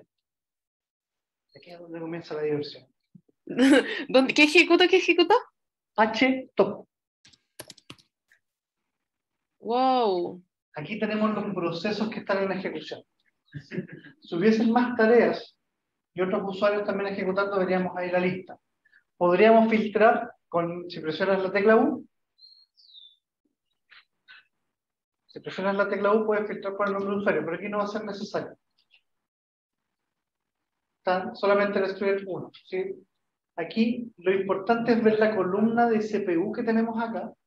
Vemos arriba cómo todas las CPUs están en un 100%, pero cada uno de los procesos se aproxima, en algunos casos logra superar el 50%, en algunos casos está en un 33%, 85%, 41%, 50%. Y aquí tenemos, no lo podemos contar uno por uno, pero tenemos nuestro comando estrés menos C40 por 10 minutos. Cada uno de estos procesos se está ejecutando de forma óptima. Yo diría que no, No. porque está, hay un cambio de contexto entre cada una de las tareas para poder ejecutar estos 40 procesos de estrés. Y nosotros solamente tenemos 20 CPU. ¿Se entiende? ¿Queda claro? Eso, eh, la verdad, la última parte que mencionó me- no me quedó muy claro como eh, el fin de, la- del- de lo que realizamos. Ya. Cuando estamos ejecutando estrés menos C40, le estamos pidiendo que estrese la CPU en el doble de veces de las CPU disponibles que tenemos en este nodo. Por eso el porcentaje de la columna CPU del HTOP se aproxima siempre a un 50%. Ah, Dándolo en un 55, veo un 37, veo un 49, veo un 62. Esto no es la forma óptima en que debería estar trabajando nuestro tecla. Eh, si puedes salir de, con la tecla Q, si no me equivoco. Igual no sé si lo hiciste porque justo salió hace un momento, pero si os dais cuenta, la carga máxima entre todo debiera de sumar 100% el total de 20 núcleos, son lo que tienen. Así que esos 100% se está dividiendo en los porcentajes que veíamos como en HTOP. No sé si lo comentó ya Esteban, posiblemente así. Hicimos el cambio, hice el cambio de contexto, que por eso estaba viviendo la porcentaje. Bueno, si volvemos, eh, si ejecutas el comando exit para volver al extra loop, ¿Eso? Correcto. Ahora, ejecuta nuevamente nano con tu script que se llamaba yes y vamos a ejecutar estrés menos C20 abajo. Ah, ya, perfecto. Ahora me imagino que los parámetros van a, van a estar mucho mejor. Coincidir. La asignación de recursos va a coincidir con lo que nuestro programa está necesitando. Previamente, la tarea estaría siendo estaría utilizando más de lo que se está asignando, podría ser eh, una tarea para ser cancelada por nuestro proceso de monitoreo, pero en este caso, menos estrés menos C20, por favor, si pueden guardar y volver a ejecutar el comando sbatch y el nombre del script, y ver en qué eh, en qué nodo se encuentra ejecutando la tarea que termina en 365. Ya, ok. Tendríamos que cancelar alguna de las tareas. Si puedes cancelar las tareas previas y la, ya, ¿no? puedes copiar.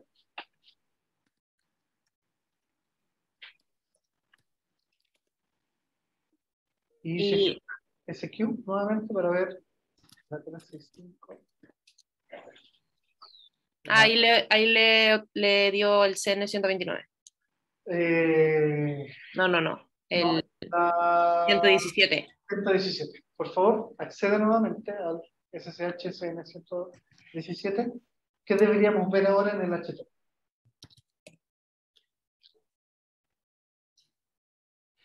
Mi password. el chat. Estaríamos a un 100% en cada proceso. Veríamos 20 procesos, cada uno acercándose idealmente a un 100%.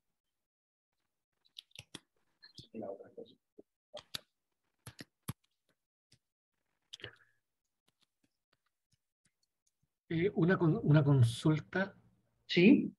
si yo dejo el mismo comando como estaba inicialmente, el estrés con C menos C40, y agrego en la instrucción de arriba, en ese batch, el ntask per node 1, eh, eh, no cambia en nada.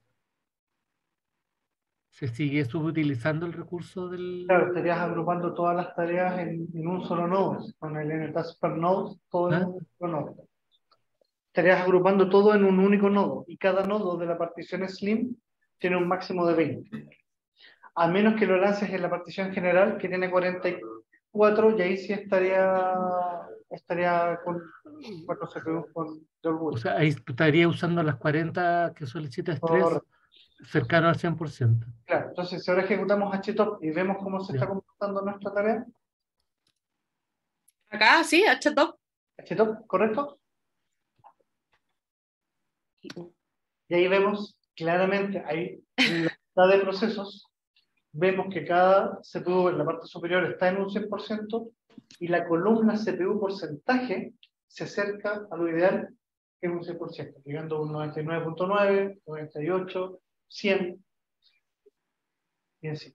¿Se logra entender la diferencia de la tarea? La asignación de recursos más lo que está nuestro comando ejecutivo. Es considerablemente diferente, o sea, el- que nosotros pedimos que se estén ejecutando.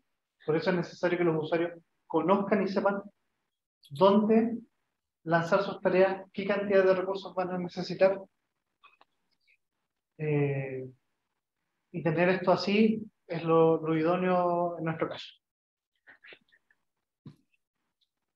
Gracias Martina por compartir tu pantalla. Creo que quedan preguntas. por acá para, para abortar como esta misión era con cubo, ¿no es cierto? Con Q, ¿correcto?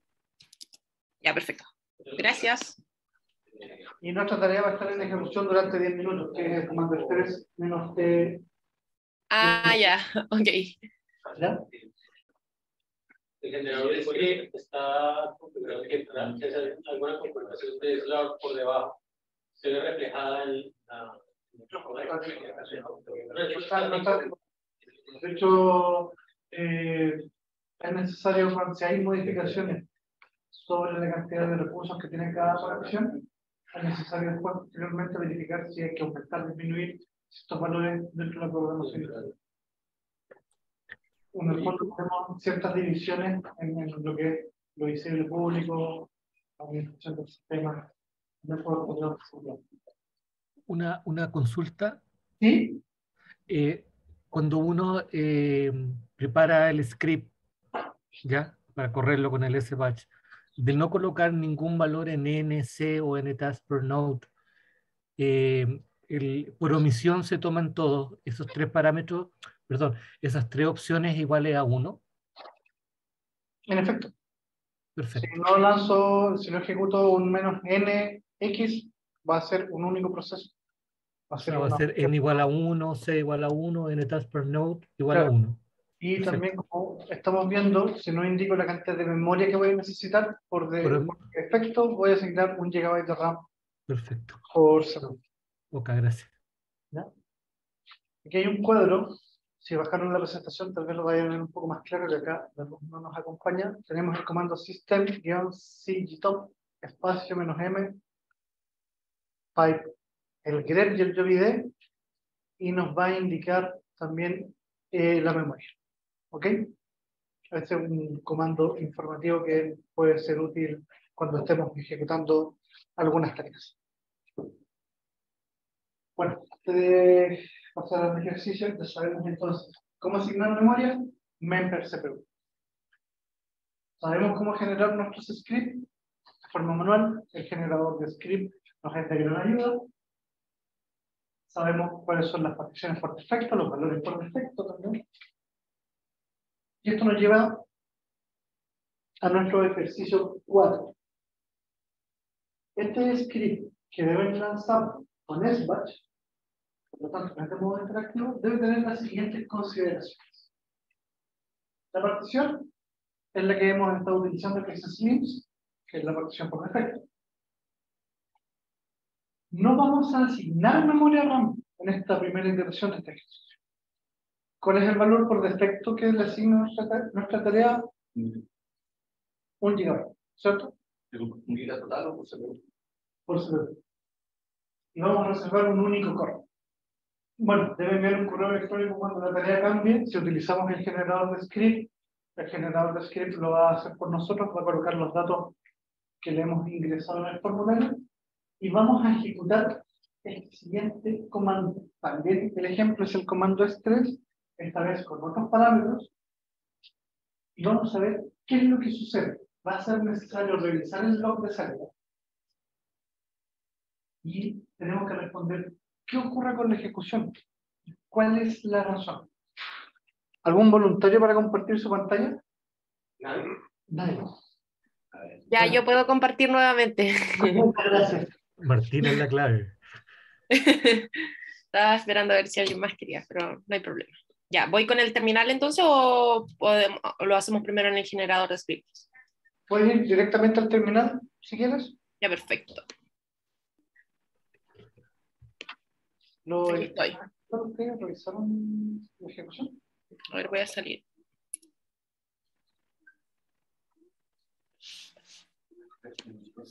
Este lo hice en el generador de script. ¿Ya? Estaba viendo como el... Recuerda, recuerda que el member CPU no debe estar asignado. Puedes comentarlo si quieres, agregando un símbolo numeral al inicio, o puedes borrar la línea completa. El, Me falta el menos C. claro, puedes borrar la, esa, la segunda, el ntask for no, dejarlo con menos C1, y el menos N1 también.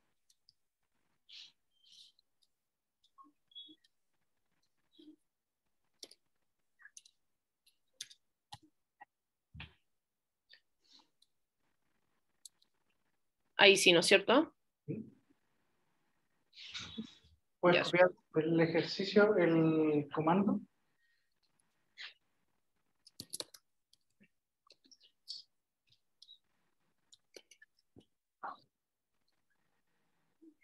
Oh, espérame, em, mm, mm. La PPT. ¿Cuál, ¿Cuál seguía acá? Que eso es lo que recuerdo que vi de la PPT. Tengo. Es guion guion VM guion bytes con Y bytes espacio 2048 M mayúscula menos guion T A guion. es solamente un guion T espacio 15 M minúscula. ¿Cuánto va a durar nuestra tarea? 15 minutos. Ok. Veamos qué es lo que pasa. Si grabas y ejecutas esta tarea, veremos qué es lo que ocurre. Me lo quiere Control X. guardar, a ver. Una vez pasa.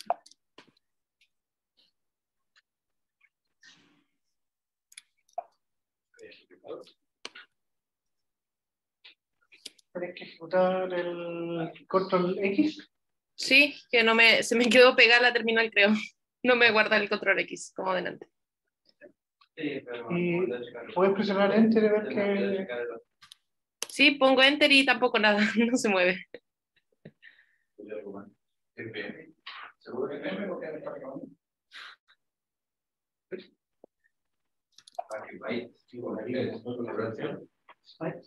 sí, lo tenía en singular. Muevo también el cursor como del script y tampoco me mueve nada.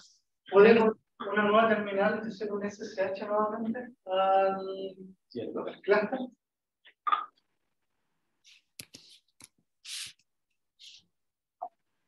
Ahí sí, ahí, ahí te responde. Ahí sí, ya que le pongo, eh, le puse como escape. Le pongo no. Ah. Creo que voy a tener que hacerlo de nuevo, ¿no? No sé si se guardó. No sé si acaso puedes ejecutar el S para ver qué es lo que es. Recuerda colocar los parámetros menos O y menos E, que son los archivos de. Por eso a mí no me gusta el el. No, no lo otro, Ya, entonces eh, tendrías que, Martina, volver a editarlo. Ya voy a copiarlo acá del script.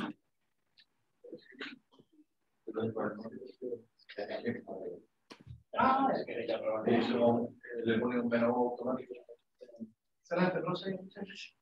Eso decía que eh, son los antiguos comandos del, eh, del, de PBS, pues no son comandos propios de ya que igual que por ejemplo usa SKU para ver la curación. Claro. Pero si tú ocupas lo mismo de antes, de PBS, justa, también sale la copia aquí. Pero es un canal, lo que son los, son que con Slante para que. Sí, que tenemos lo instalamos, sí, nosotros lo instalamos. Sí, Pero nunca recomendamos utilizar eso No, de acuerdo, suscribiendo. Sí, sí, no sé, no sé. Cada cosa. ¿Alguien sabe o tiene alguna información que puedo ir con este ejemplo? No utilizado no creo que todo Ya, ahora sí funcionó. Ya, entonces, ejecute- ejecutémoslo. Ah, Ya. Slash, el nombre de tu archivo. Y ahí va a estar. Ahí está. Ok. Entonces, veamos qué es lo que ocurre si ejecutas SQ para ver el estado de las tareas. 428. En el CN 051. Ya. ¿Puedes volver a ejecutar SQ? Ok, ya no está.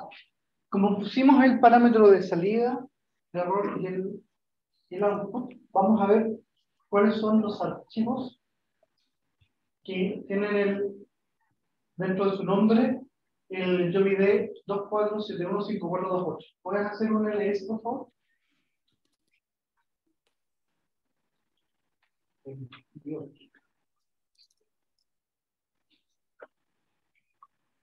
Ahí está.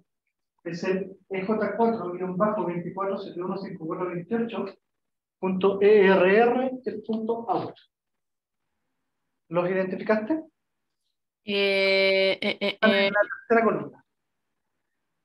ah, ya, ya, ya, ya. ¿Qué pasa con ese? ¿Qué tengo que hacer? Puedes ejecutar el comando cat y el nombre del archivo cat, ¿Cata, sí?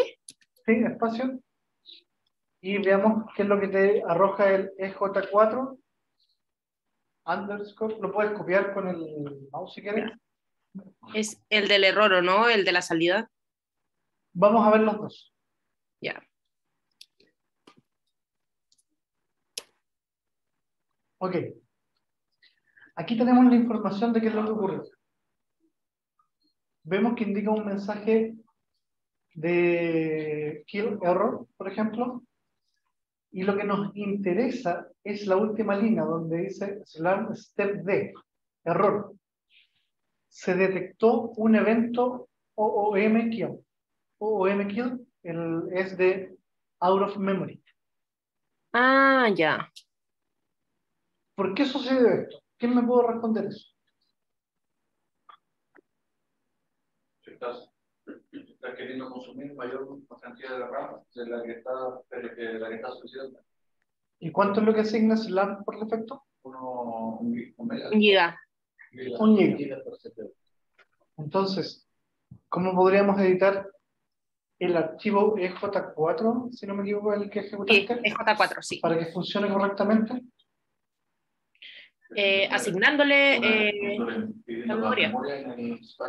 Mem per CPU,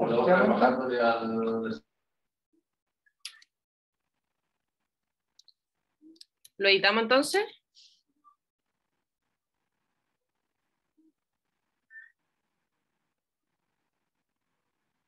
Ay, no escucho nada, parece que me caí. No, yo te escucho. Yo te escucho acá. Sí, Gracias. Pero parece que perdimos el audio de allá de la. Sí, al parecer, no escucho nada. A ver, déjame. De todas maneras, abre el archivo como te, está, te estaban instruyendo, por nano, J4. GG4, y, en- y agrega, eh, no Eso me acuerdo de Era el. el, El parámetro de memoria. El parámetro Claro, de memoria claro. falsa. El- Claro, a, a un espacio ahí, un ente, yo no sé manejar nano. Ese batch, Eh, eh, eh, eh. Ya parece que no vuelven los de allá. Yo la hice. Sí, yo ya la hice porque parece que se murió el audio. Claro, pero mem, mem por node, no me Per, acuerdo. CP cómo. per CPU. Es MEM per CPU. Per- per CPU. Mem. Igual, ¿No me escuchan ahora? igual, Ahora sí lo escuchamos, creo. Ya. 2048 creo que es, ¿no? No. ¿Está bien así o no? No sé. Mem per CPU. Ah, ya, Reemplaza ya. la R, sí. Memoria por CPU. Mem per. CPU. 2048, que es lo que estáis solicitando. Ya, creo que ahí estaríamos, ¿no? Veamos si funciona. Ya. Habría una, una consulta cuando se coloca el MEM por CPU, asume por omisión en megabyte o por gigabyte en la instrucción. Es por megabyte. Megabyte, correcto, ya. Pero uno en- no, no es necesario agregarle el sufijo, ¿cierto? El sufijo M. No, no es necesario en este caso. Ya, ok. Ok, gracias. Están, están haciendo una pregunta acá, que igual la, la- la resuelvo para todos. Eh, Martina, no sé si podrías abrir el, el script un momento. Gracias. El, compañero, aquí lo que había hecho en vez de. Imaginémonos que no está en la línea de memoria en ese script, y lo que ha hecho es ponerle menos C2. Reservar dos núcleos para que en este caso se reserve más memoria RAM y ver si así funciona. Pero me dice, me ha vuelto a fallar. ¿Por qué? Y es un poco lo que se ha respondido antes. Entonces, básicamente, cuando le respondo yo directamente, pues ha respondido en este momento, si tú reservas esto con C2, lo que estás haciendo es reservar dos veces lo que se reserva por defecto. Y si, reserva dos, si se reserva un giga por defecto, te, te está reservando dos gigas, 2048. Pero en este caso, de hecho, son 2000 megas. O sea, porque son múltiplos de 1000 como está puesto en el, en el Slack. Así que está reservando 2000 megas. No está reservando eh, 2048 megas. Por lo tanto, eh, al final se acaba cancelando por exactamente el mismo motivo. Ahora bien, ¿qué opináis de, en vez de reservar con este parámetro de acá, el MEM per CPU, la memoria, reservarlo con el menos C? O sea, ocupar más núcleos para que se reserve más memoria. El, el problema es que el comando de estrés probablemente por defecto solo ocupa un, un CPU. Entonces pedir un CPU con 2 gigas y un fallar. No, o sea, si me encontraron una CPU con 2 gigas. O sea, lo que tú, si tú al final pones aquí menos C2, lo que eh, va a buscar es dos CPUs y 2 gigas disponibles y los va a marcar como reservados. Ya nadie me los puede ocupar. Pero lo que se está haciendo mal aquí es que tú le estás diciendo dos CPU cuando mi programa solo utiliza una. O sea, estoy, quitando una CPU a alguien más que podría ocuparla. Entonces, estoy reservando mal los recursos, no lo estoy reservando de manera responsable. Estoy haciendo una subutilización de recursos porque solo voy a utilizar un núcleo y el otro va a quedar totalmente ocioso para ocupar más RAM. Por lo tanto, eso está, no se debe hacer nunca, está mal hacerlo, y lo que se debería hacer es seguir reservando una única CPU, pero más memoria RAM con el parámetro menos MEM CPU. Ah, ya, ya, ya. Pero una consulta. ¿Aló? ¿Sí? Escuchamos. Con lo, con lo que decía Ginés, entonces, eh, si yo reservo, supongo, que yo no, no sé lo que tú dijiste, yo digo, ah, ¿qué tal si reservo dos? ¿Soluciona el problema de la memoria? Yo entiendo que no. Eh, no, pero con la razón de que si reservas dos núcleos, se va a estar reservando 2000 megas y el programa requiere 2048. Realmente ocupa un poquito más de 2048 porque el propio binario ocupa también un espacio en memoria. Es ¿Ya? pequeñito, el 3, pero ya ocupa un byte, dos bytes, lo que ocupe. O sea, un poquito más de dos bytes, obviamente. Pero al final, entonces, de todas maneras, ya digo, nunca se recomienda eso. Uno sí podía hacerlo y podía funcionar. En el Ya. caso de que los programas fueran, pongamos, 1500 megas y tú reservas C2, te va a funcionar sin problema. Pero estás reservando una CPU que va a estar ociosa, estás haciendo una subutilización de Una recursos. subutilización, Esta perfecto. CPU queda sin poder usarse por nadie. Por lo tanto, se están utilizando mal los recursos. Hay, hay que ser muy responsable de lo que se está reservando y lo que se va a usar deben de coincidir. Deberían coincidir siempre. No tiene por qué coincidir porque uno puede manejarlo de distinta manera y es responsabilidad del usuario que lo está ocupando los recursos, ocuparlos bien y responsabilidad de nosotros como equipo del NHPC vigilar que nuestros usuarios ocupan bien los recursos. Perfecto, ok, gracias. Eh, en tu experiencia, ¿cuál sería mejor la ventaja en usar el MEM per CPU en vez del MEM solo? Buena pregunta. En mi experiencia, de hecho, es mejor utilizar el menos menos menos.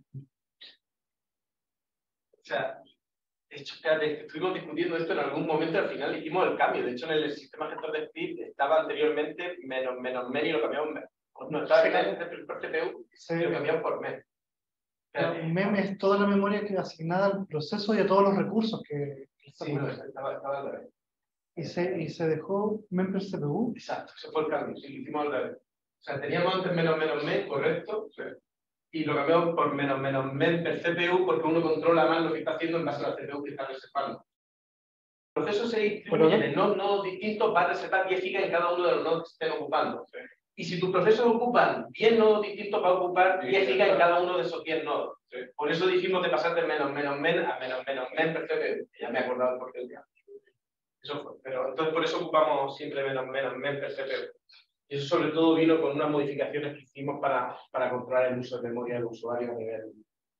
Bueno, no me meto ahí, en el Lua. Luego podemos verlo en otro momento.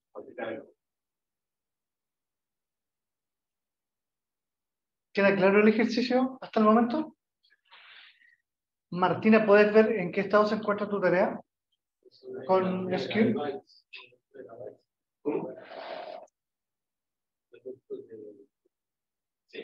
Mira, en la tarea 446, Martina, no sé si me escuchas. Hola, sí, 446, me perdí un poco. ¿Dónde está? No veo 446. Sí, el archivo 446, que está un poquito más arriba. Ah, ya, perfecto. ¿Puedes ver el archivo de error que te, que te indicó? Ya, perfecto. Un ls y buscamos el 446. Ah, un ls, ¿no? Ahí. Sí, puedes ejecutar EJ4 y el número del. E, L, L, ¿S? LS, LS, del stack, LS. El 446. 4, Ahí está. En el 446. Ah, ya. ¿Esta salida? Sí. ¿Puedes ver el error, por favor? Sí. Ejecuta un cat, por favor. Sí.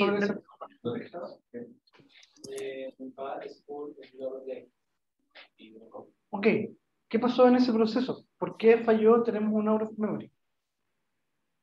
Tenemos la asignación de 2048 megas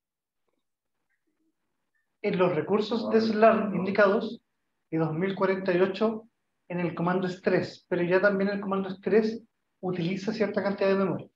Entonces, ah, este no es suficiente. Claro. Sería, ahí le podrías colocar tal vez 2100 M, 2300 M en el parámetro de SLAB. Acá, ¿no es cierto? Claro, si lo haces con 2300 va a funcionar y creo que 2300 es lo que está en la respuesta de que me entregan en el GitHub con eso te va a dejar la ejecución funcionando sin mayor problema. Hay un comando que se llama watch, W-A-T-H, y permite ver los comandos. Entonces, si uno ejecuta watch SQ, el comando se ejecuta cada dos segundos. Y, personalmente lo encuentro. Ah, tiro de nuevo. Ah, no, no, no. Fíjate que la tarea es el que finaliza en 463. La última ejecución, tuya es la 24715463. Ah, ya, 63, 63. Este sería, ya, ya, ya. Sí, puedes ver tanto el output como el error como el output. Ese, ¿o no? Sí. Ay, no. Y eso es correcto. Si no tenemos error, significa que está en ejecución. Y si cambias el ERR por el punto out, Creo que también está vacío.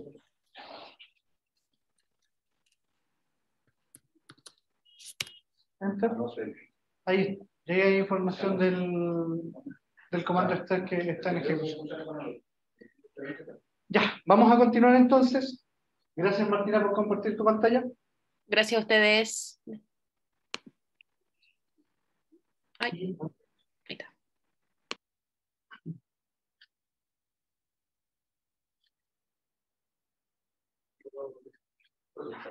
Ok, hasta el momento hemos visto ejemplos con el comando estrés, el comando hostname, ejecución interactiva, ejecución con Pero ahora vamos a hablar del sistema de módulos Elmo. ¿ya? Elmo permite tener varias aplicaciones y distintas versiones de las aplicaciones que vamos a necesitar. Nosotros estamos utilizando Elmo y está disponible para diferentes arquitecturas de procesos. Y aquí esto ya comienza a ponerse un poquito más interesante de lo que hemos visto hasta ahora. Elmo, como nos gestiona los paquetes de software, permite la búsqueda por el comando ml spider y la palabra que yo estoy buscando.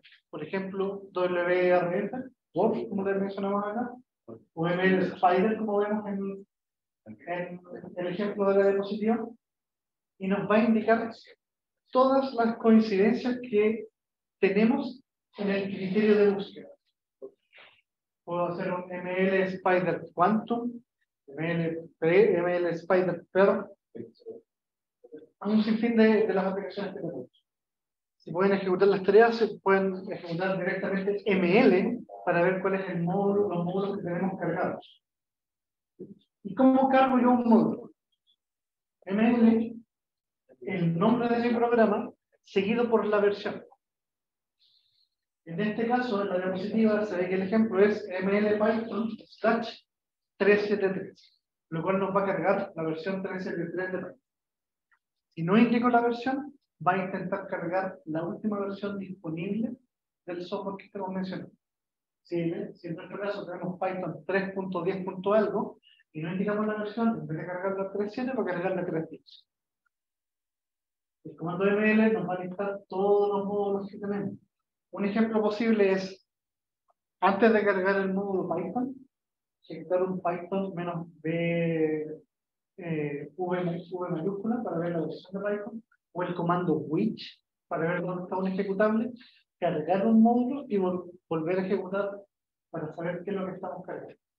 Y al mismo tiempo, Elmo, como gestor de software, permite que si yo cargo una versión, sea lo suficientemente inteligente para decir, hey, tengo una versión previa, la quito y vuelvo a cargar la siguiente.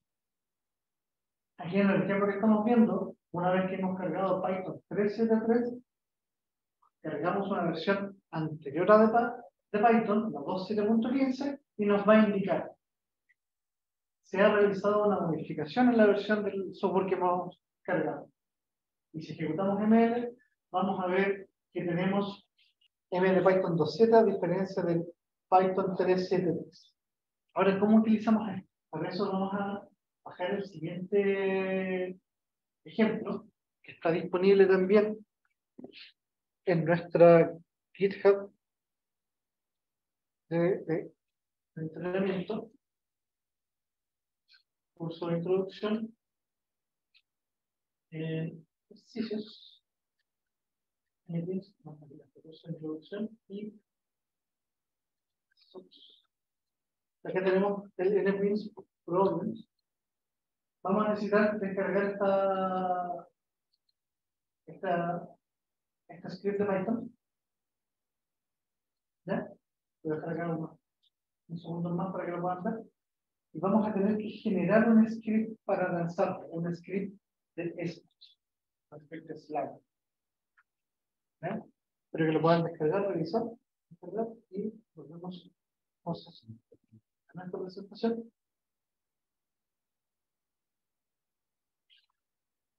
Vamos a hacer un script donde nuevamente vamos a utilizar nuestra partición de defectos. Por defecto, utilizar la partición slims, vamos a reservar un único core, vamos a hacer una reserva de memoria y vamos a cargar un módulo de Python, Python 397 y vamos a ver que el gestor de software Hola, ¿te, te puedo hacer una consulta? Sí, por supuesto. Eh, en, en la- en el contexto de Python, ¿hay algunas librerías, por ejemplo, GuroviPy, que se usa en optimización, que, que tiene licencias? ¿Ya? ¿Cómo sería el- en ese caso el manejo con el, con el supercomputador? Eh, Tiene una licencia para estudiantes y otras que se compran, obviamente, pero en el contexto de la licencia, ¿cómo se, sería ese? En el caso de las solicitudes de software licenciado, es responsabilidad de quien lo solicita entregarnos la licencia. Y hacemos la gestión necesaria para que solamente el propietario del software lo utilice. Ya, perfecto. Eso es en términos generales, para MATLAB, general, R, Efectivamente.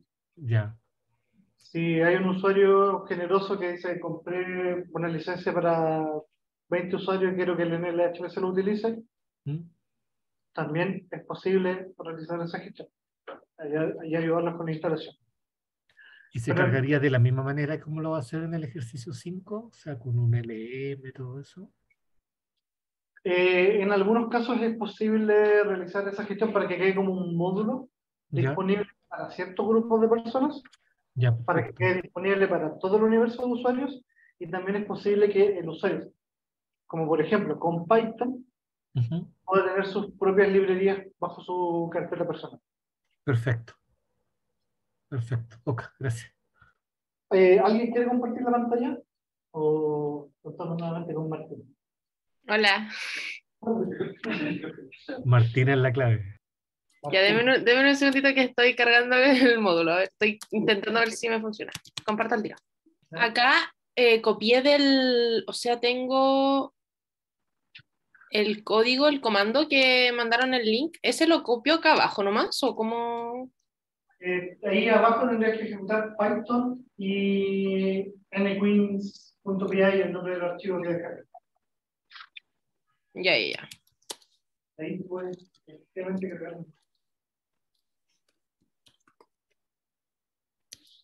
Y acá el nombre, déjame. Es que Claro, solamente claro. lo copié como directo. Tengo que guardarlo como en alguna carpeta o algo. Eh, si tienes el script de SBatch, donde está el mismo script de Python, basta con llamar. Les recuerdo que cuando están dentro de la consola también pueden ejecutar, por ejemplo, cargar un módulo de Python, ML Python 2, y en el SBatch, ML Python 395, y al ejecutarlo, va a cargar el, el script, no el que tenemos cargado en nuestro módulo. Porque así, así lo tengo. Y como que solamente copié acá, ¿Ya? Pero tú me decías de que con tan Ah. solo cargarlo con el nombre o, o lo puedo descargar, eh, no sé cómo. si haces clic en Raw, ¿Ya?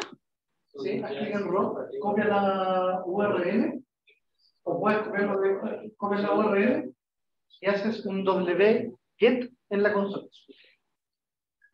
Y, y pegas la, la, URL. Ya me voy, a, me voy a la consola entonces. En ese caso, aplicar Python 3. Puedes Ya, entonces, WSH, ¿o no se hace hermano? Sí. Ves que Python te va a mostrar la nota completa. Y te vas a dar cuenta para que. ¿copio como el link, el que copié de allá? ¿O cómo lo pongo acá?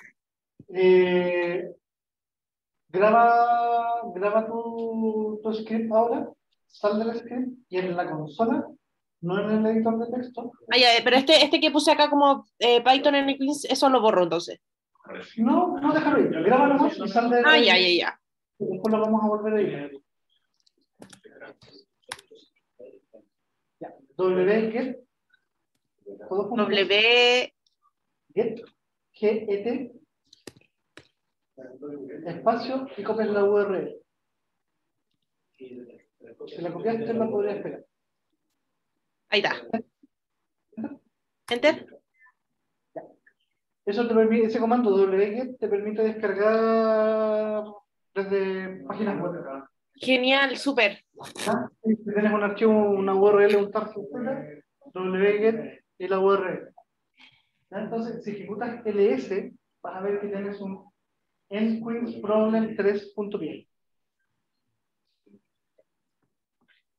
nqueensproblem3.py. Oh, creo que no escuché, se me fue un poco la señal.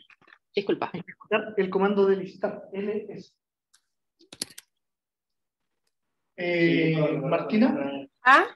¿puedes ver tu, el ejercicio 5, por favor? Y copiar el nombre del NQueen Problem. Pero lo veo como. Ah, no entiendo a qué te refieres que a que vea el ejercicio 5 en ¿no? Sí, entonces ahora ahí en Python colocas NQueen y el nombre del archivo.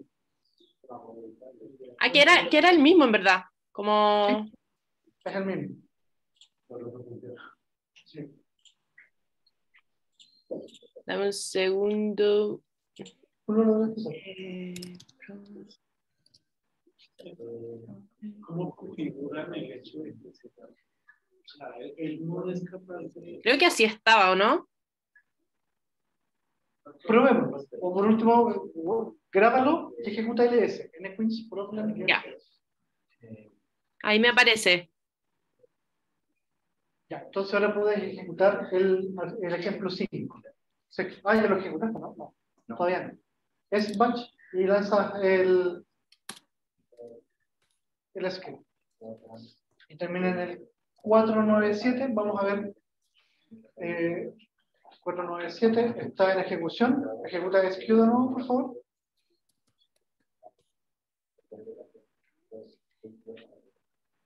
Lleva 12 segundos en ejecución. Vuelve, puedes hacer un ls si quieres y ver qué es lo que está saliendo en los archivos de error o de salida, que era el 497. Vemos el, el out. ¿El out? Ya. Sí, vemos el out. Que es el que nos interesaría esta vez. Wow. Ya, muy bien. Puedes ejecutar, por ejemplo, si tu tarea se demora mucho, podrías ejecutar el comando tail de cola menos F. Si es que se, y vas a poder hacer un seguimiento de los archivos que van saliendo. Ya, ¿Cómo Bueno. es? Em, ¿Me lo puedes eh, deletrear por fin? Tail, T-A-I-L. Ah, ya. Y R. L, L, de cola. Tail. Ah, ya, super. Eh, menos F me dijiste, ¿no?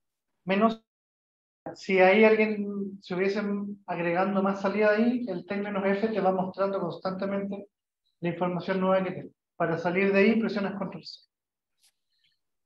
Pero era al, al log, no al, al- al nombre del archivo de, de ejercicio 5. Claro. Pero el Al log que leíste recién, ese, así que hacerle un tail menos F. Como al. ¿Cuál era ese? El... ah. Al, sí, es, ese mismo es, el eje 5, el tiene- Ahí, ¿o no? Sí, Claro. eso, perfecto. Entonces ahí te va a mostrar y te muestra lo, lo último que. Ah, Te perfecto. va, mo- ya. te va mostrando en tiempo real la, la salida que va dejando el, el, el ejercicio que tú, o sea, el- en este caso la tarea que tú estás ejecutando, te la va mostrando en tiempo real. Si es que hubiera más, más, eh, más salidas, te va mostrando a medida que se va actualizando. Ya, súper. Ahí recién vi que me habían ayudado en el chat. No, no lo había leído. Gracias. Entonces, es importante mencionar que en mis scripts yo voy a tener mis parámetros de SBatch, los recursos que yo estoy solicitando, archivo de salida, archivo de error, seguido por los módulos que yo voy a necesitar. Los distintos módulos que voy a cargar. Por ejemplo, NetCDF, Fortran, eh, WRF, Python, Perl, las necesidades de cada usuario. Pueden ejecutar ML Spider más el criterio de búsqueda para ver si es que está el software que ustedes necesitan. Si no existe, se pueden contactar con soporte arroba en el HPC y hacer solicitudes de software y vamos a intentar compilarlo e instalarlo para nuestros us- usuarios. Y así, en sus scripts va a bastar posteriormente un ML, el nombre de mi software más su versión, para acceder a él. ¿Queda claro el uso de los módulos? Este es el uso más sencillo. Hay más información también en la wiki de, sobre él. Martina, antes de que dejes de compartir pantalla, igual aprovechando justamente que se ve una cosa, uy, ahí déjate de compartir pantalla. Sí, No, no. ¿Tenía que compartir? Sí, Ah, sí, Ya, sí, ya vuelvo. sí. Ahí voy. No, era porque se veía. Ahí, ya, muchas gracias. Eh, ahí ahora mismo lo que, y esto es un problema que yo he generado a lo largo del tiempo, sobre todo cuando hay un error, eh, hay dos archivos por separado, uno de salida y otro de error. Generalmente esto no, no provoca nada y pueden estar separados. Ahora bien, cuando de verdad hay un error, se pierde algo muy importante y es cuando se produce el error, la temporalidad exacta en el archivo de la salida cuando se produce el error. Al estar en dos archivos separados, uno no sabe si después de haber generado, imaginemos que tiene paso 1, 2, 3 y se produce un error, no sabemos si es después del paso, antes o después del paso 1 o, antes o después del paso 2 y así. Entonces, cuando hay un error, yo recomiendo que cambiéis el menos O y el menos E, básicamente que solo pongáis, quitáis el menos E para que toda la salida, incluyendo la salida de error, se vaya también a la salida punto .o, como se llame, pero eliminar la línea de error. Básicamente, digo, la temporalidad que se produce el error es importante. Entonces, ya digo, por, por un tema de, que viene de muchos años atrás, siempre lo hemos separado aquí en el HPC. Pero si tuviera que hacerlo de nuevo, yo todos los generadores de script y todo, quitaría la salida de error para no separarlo. Porque perder la temporalidad es importante. Luego no se produce ese error. Porque si tú quitas la línea, creo que asume un nombre por defecto, igual lo separan, pero asume otro nombre por defecto. Porque yo no tengo puesto ninguno de los dos. Y me deja como slum, guion, el número de proceso, o se sigue, lo sigue separando igual. Lo sigue separando igual, pero si tú le fuerzas, eh, de hecho le podías poner menos E y también O, pero creo que si tú le fuerzas solo menos O y quitas el menos E, la salida estándar y la salida de error van al mismo sitio. Podemos probarlo, pero yo estoy casi seguro que van al mismo sitio si el menos E está comentado y el menos. Lo otro, igual antes provocamos el, de, el que falla por memorias, que es el archivo de error y salida, ahí puede ver si, si lo separa. Lo otro que iba a comentar, Ronald, ¿verdad? Ronald era, intentaba cambiar, cargar este módulo de Python, concretamente. 3.10.4. Martina, ¿podrías intentar cargar el módulo 3.10.4 de Python? ml python slash 3.10.4. Eso lo pongo como en la nano del... Ahí en la línea de comando, tal cual. Ah, ya. ML. ML. Eh, Python, la P mayúscula. La P mayúscula, por favor. Slash. 3, 4. Sí, 3, 10, 4. 3 punto 10 punto 4. Gracias. Enter. Sí. Perfecto. No puede cargarlo. ¿Por qué no puede cargarlo? Y eso puede pasar con relativa frecuencia. Porque Python 3.10.4 está compilado con un, un toolchain distinto al que tienes cargado en este momento. Si haces ML y le das al intro, por favor. ML nomás, intro. Enter, ahí está, perfecto. Ahí se ve lo que tienes cargado. Ahora mismo el módulo que tienes cargado principalmente es el que sale en el número 7, que es Intel 2019 Y todo lo de antes son dependencias para poder cargar eso. Entonces, el, el toolchain que tienes cargado es, es la versión 2019 de Intel y el módulo de Python 3.10.4, que existe, y si, y si uno hace un spider se ve que existe, eh, está compilado con Intel 2022.00, otro toolchain. Entonces, para poder cargarlo, habría que cargar Intel 2022.00 y ahí recién se podría cargar el Python 3.10.4. Y para poder saber con qué, compile, con qué toolchain fue compilado, habría que ejecutar ml spider python slash 3.10.4. Ahí no sé si Martina si podría ejecutarlo. Ya, entonces sería para eh, ml espacio spider como araña python 3.10.4 python slash 3.10 pero python con, con, la p mayúscula no ¿O? correcto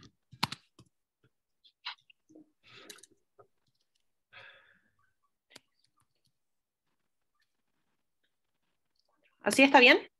Correcto. Y arriba del todo, antes de help, se puede ver que está compilado con los compiladores de Intel 2022.0.1. Entonces, habría que cargar esos compiladores para poder cargar ese módulo. Ah, ya, ya, ya. ¿Cómo están utilizando las dependencias del archivo para este modo? O sea, eh, preguntan por aquí si que estamos utilizando dependencias en los módulos que cargamos. Sí, los módulos que cargamos se cargan con dependencias. Es decir, por ejemplo, si cargamos, a ver, uno que tenga bastantes dependencias. Eh, Python, el mismo Python. ya carguemos Python. Estaba pensando en el- uno que tiene muchísimo, pero no me sale ahora. Ya, carguemos Python, por ejemplo. ¿Puedes presionar la tecla Q, por favor, Ya, Martín? ya, ya. Ahí está. Carguemos, carguemos ya ML y espacio Y A D E. ¿Así? ¿Ya? Una E al final, por favor. Intro. No sé si la Y es mayúscula. Probemos. No, ah, no, enter. sí, sí, sí, Perdón, J, Enter. Creo que era con mayúscula, ¿no? Enter. ¿Así? Sin, sin Sí, la sí, la M, M. sin la M. Intro. ¿O no? Sí. Ahí está. Ya. Ahora ejecuta ML para ver qué módulos cargó. Wow.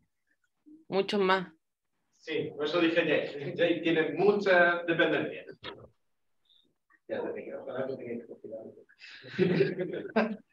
Así que se cargan todas las dependencias. Uno ha cargado solo el módulo que está al último, el 70, y las 69 dependencias que hay antes son, bueno, son esas dependencias que se cargan automáticamente. Así que muchas gracias, Martina. Muchas Gracias. gracias. De nada, de nada. Una consulta, Inés. Sí, En al, al- ese- esa sugerencia que tú estabas diciendo de que en tu opinión no sería, eh, recomendarías no usar el, la opción menos C. O sea, eso quiere decir que con, si uno deja con la opción menos O, eh, te estaría mostrando las salidas de tu programa y si eventualmente llega a fallar, también dónde se perdió, dónde falló el programa.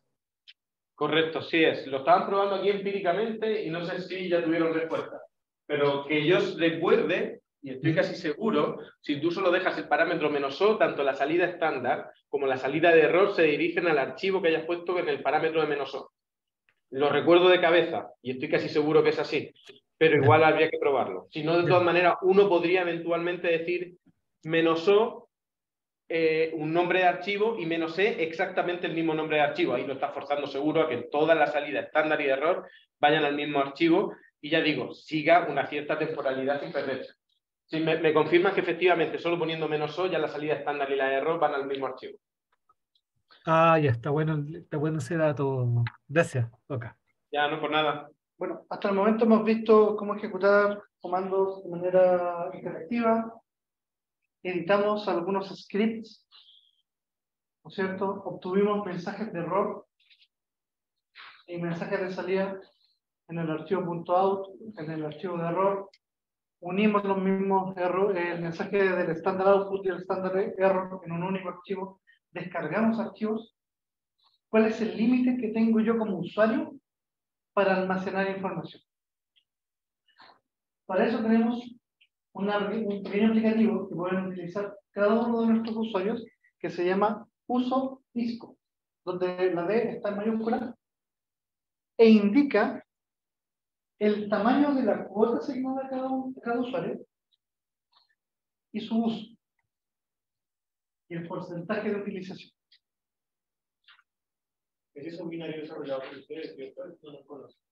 Este es un script desarrollado por nosotros. más o menos, Un script desarrollado por nosotros. Claro, eh, es, un, es un script desarrollado. Por debajo tiene que utilizar ciertas herramientas de, de- relacionadas con el almacenamiento que tenemos de IBM Spectrum Scale.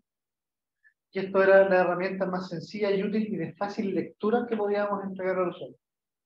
Las otras herramientas, si se utilizan, entregan otra, otra mayor cantidad de información que puede no ser útil de buenas a primeras al usuario.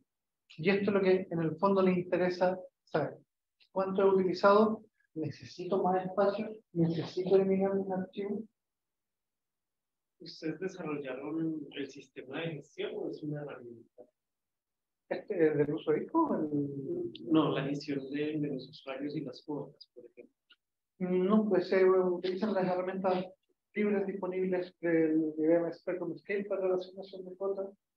Se asignó una cuota estándar a cada uno de los usuarios. Existen formularios para solicitudes de, de, de, de, de disco. Entonces, existen otras herramientas de gestión que nos permiten tomar acción sobre los requerimientos de los usuarios. Y también el sistema de tickets. Eso lo vamos a ver. Eh, lo vamos a ver más adelante. Ahora vamos a hablar un poquito de eficiencia computacional. Esto va a ser un, paso rápido con respecto a esto. Hay una, dentro de la wiki tenemos eh, wiki.nlhpc slash escalamiento, con mayúsculas, donde se habla un poquito más.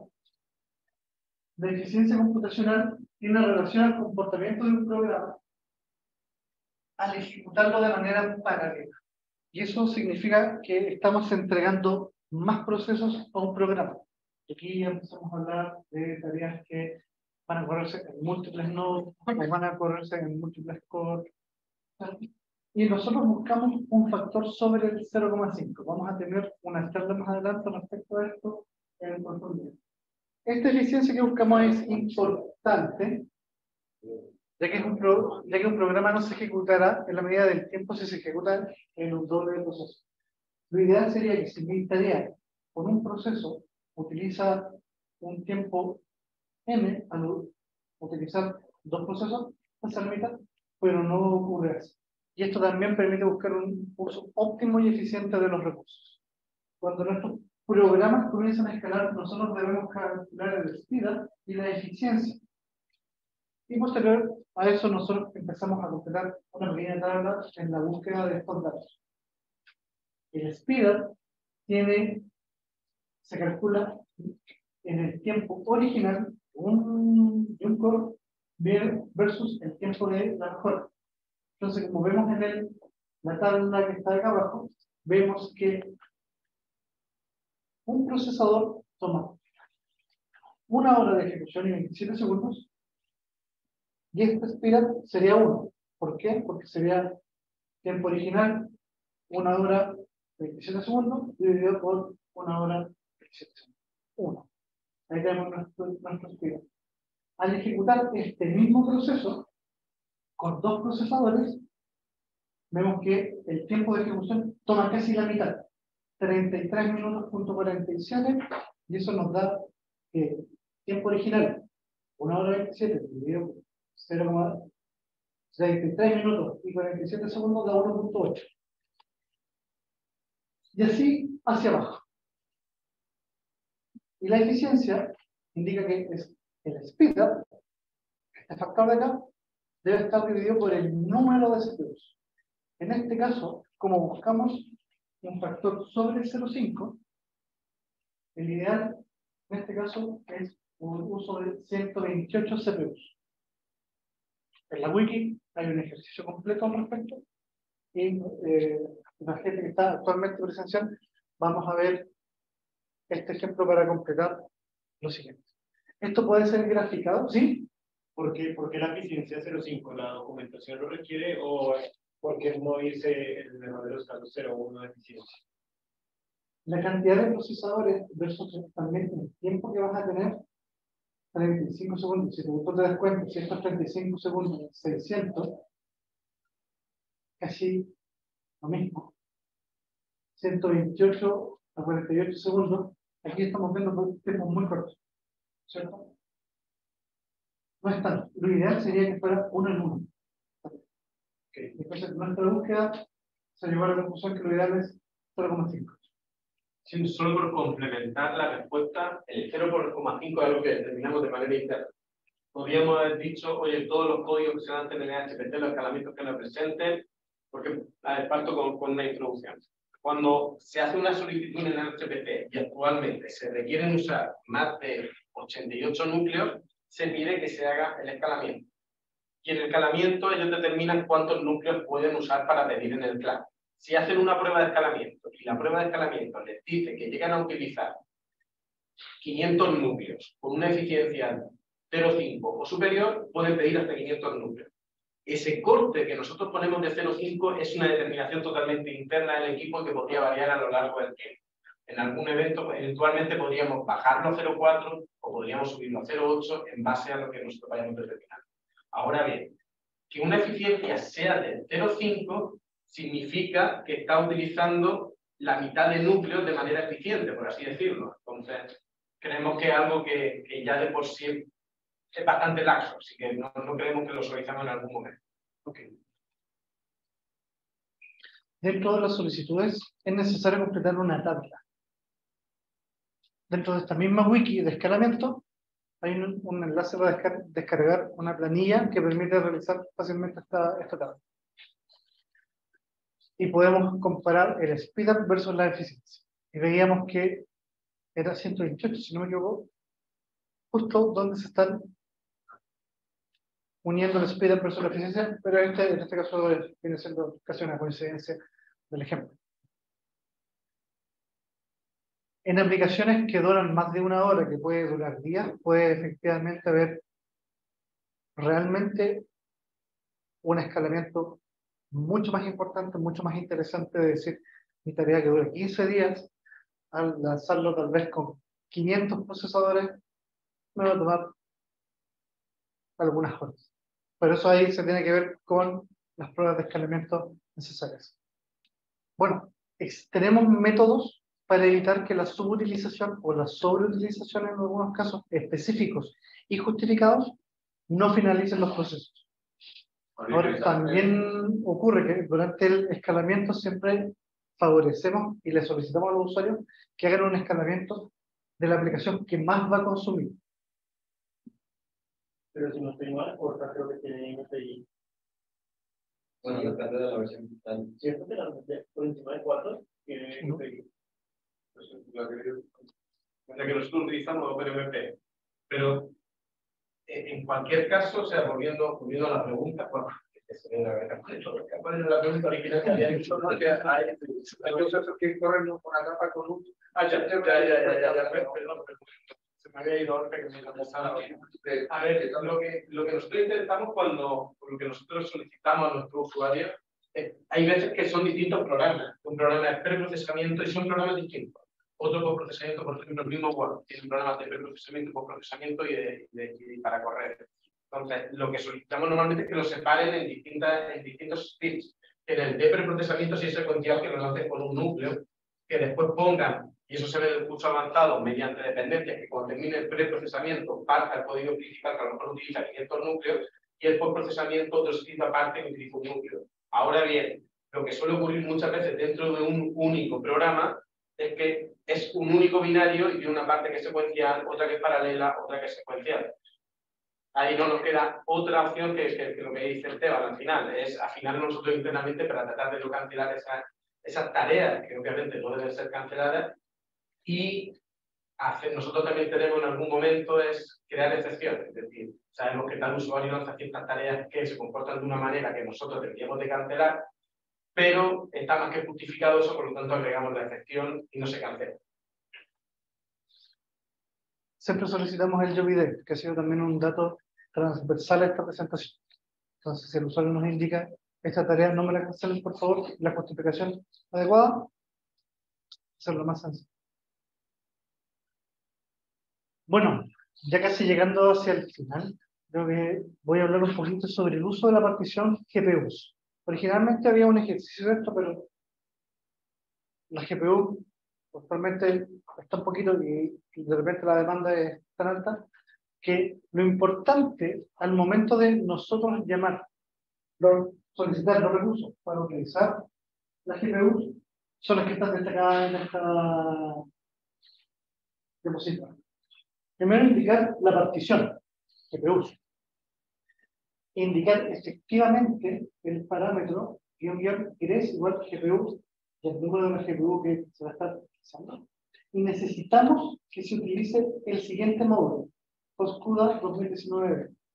Aquí vemos un ejemplo en que hacemos un ML Purge que elimina todos los módulos de ELO que están ya cargados cargamos Foscura, que es la base para el uso de, de, la GPU, y posteriormente vamos a cargar nav de como ejemplo, con la versión 3.0.9, que es un software que utiliza la GPU.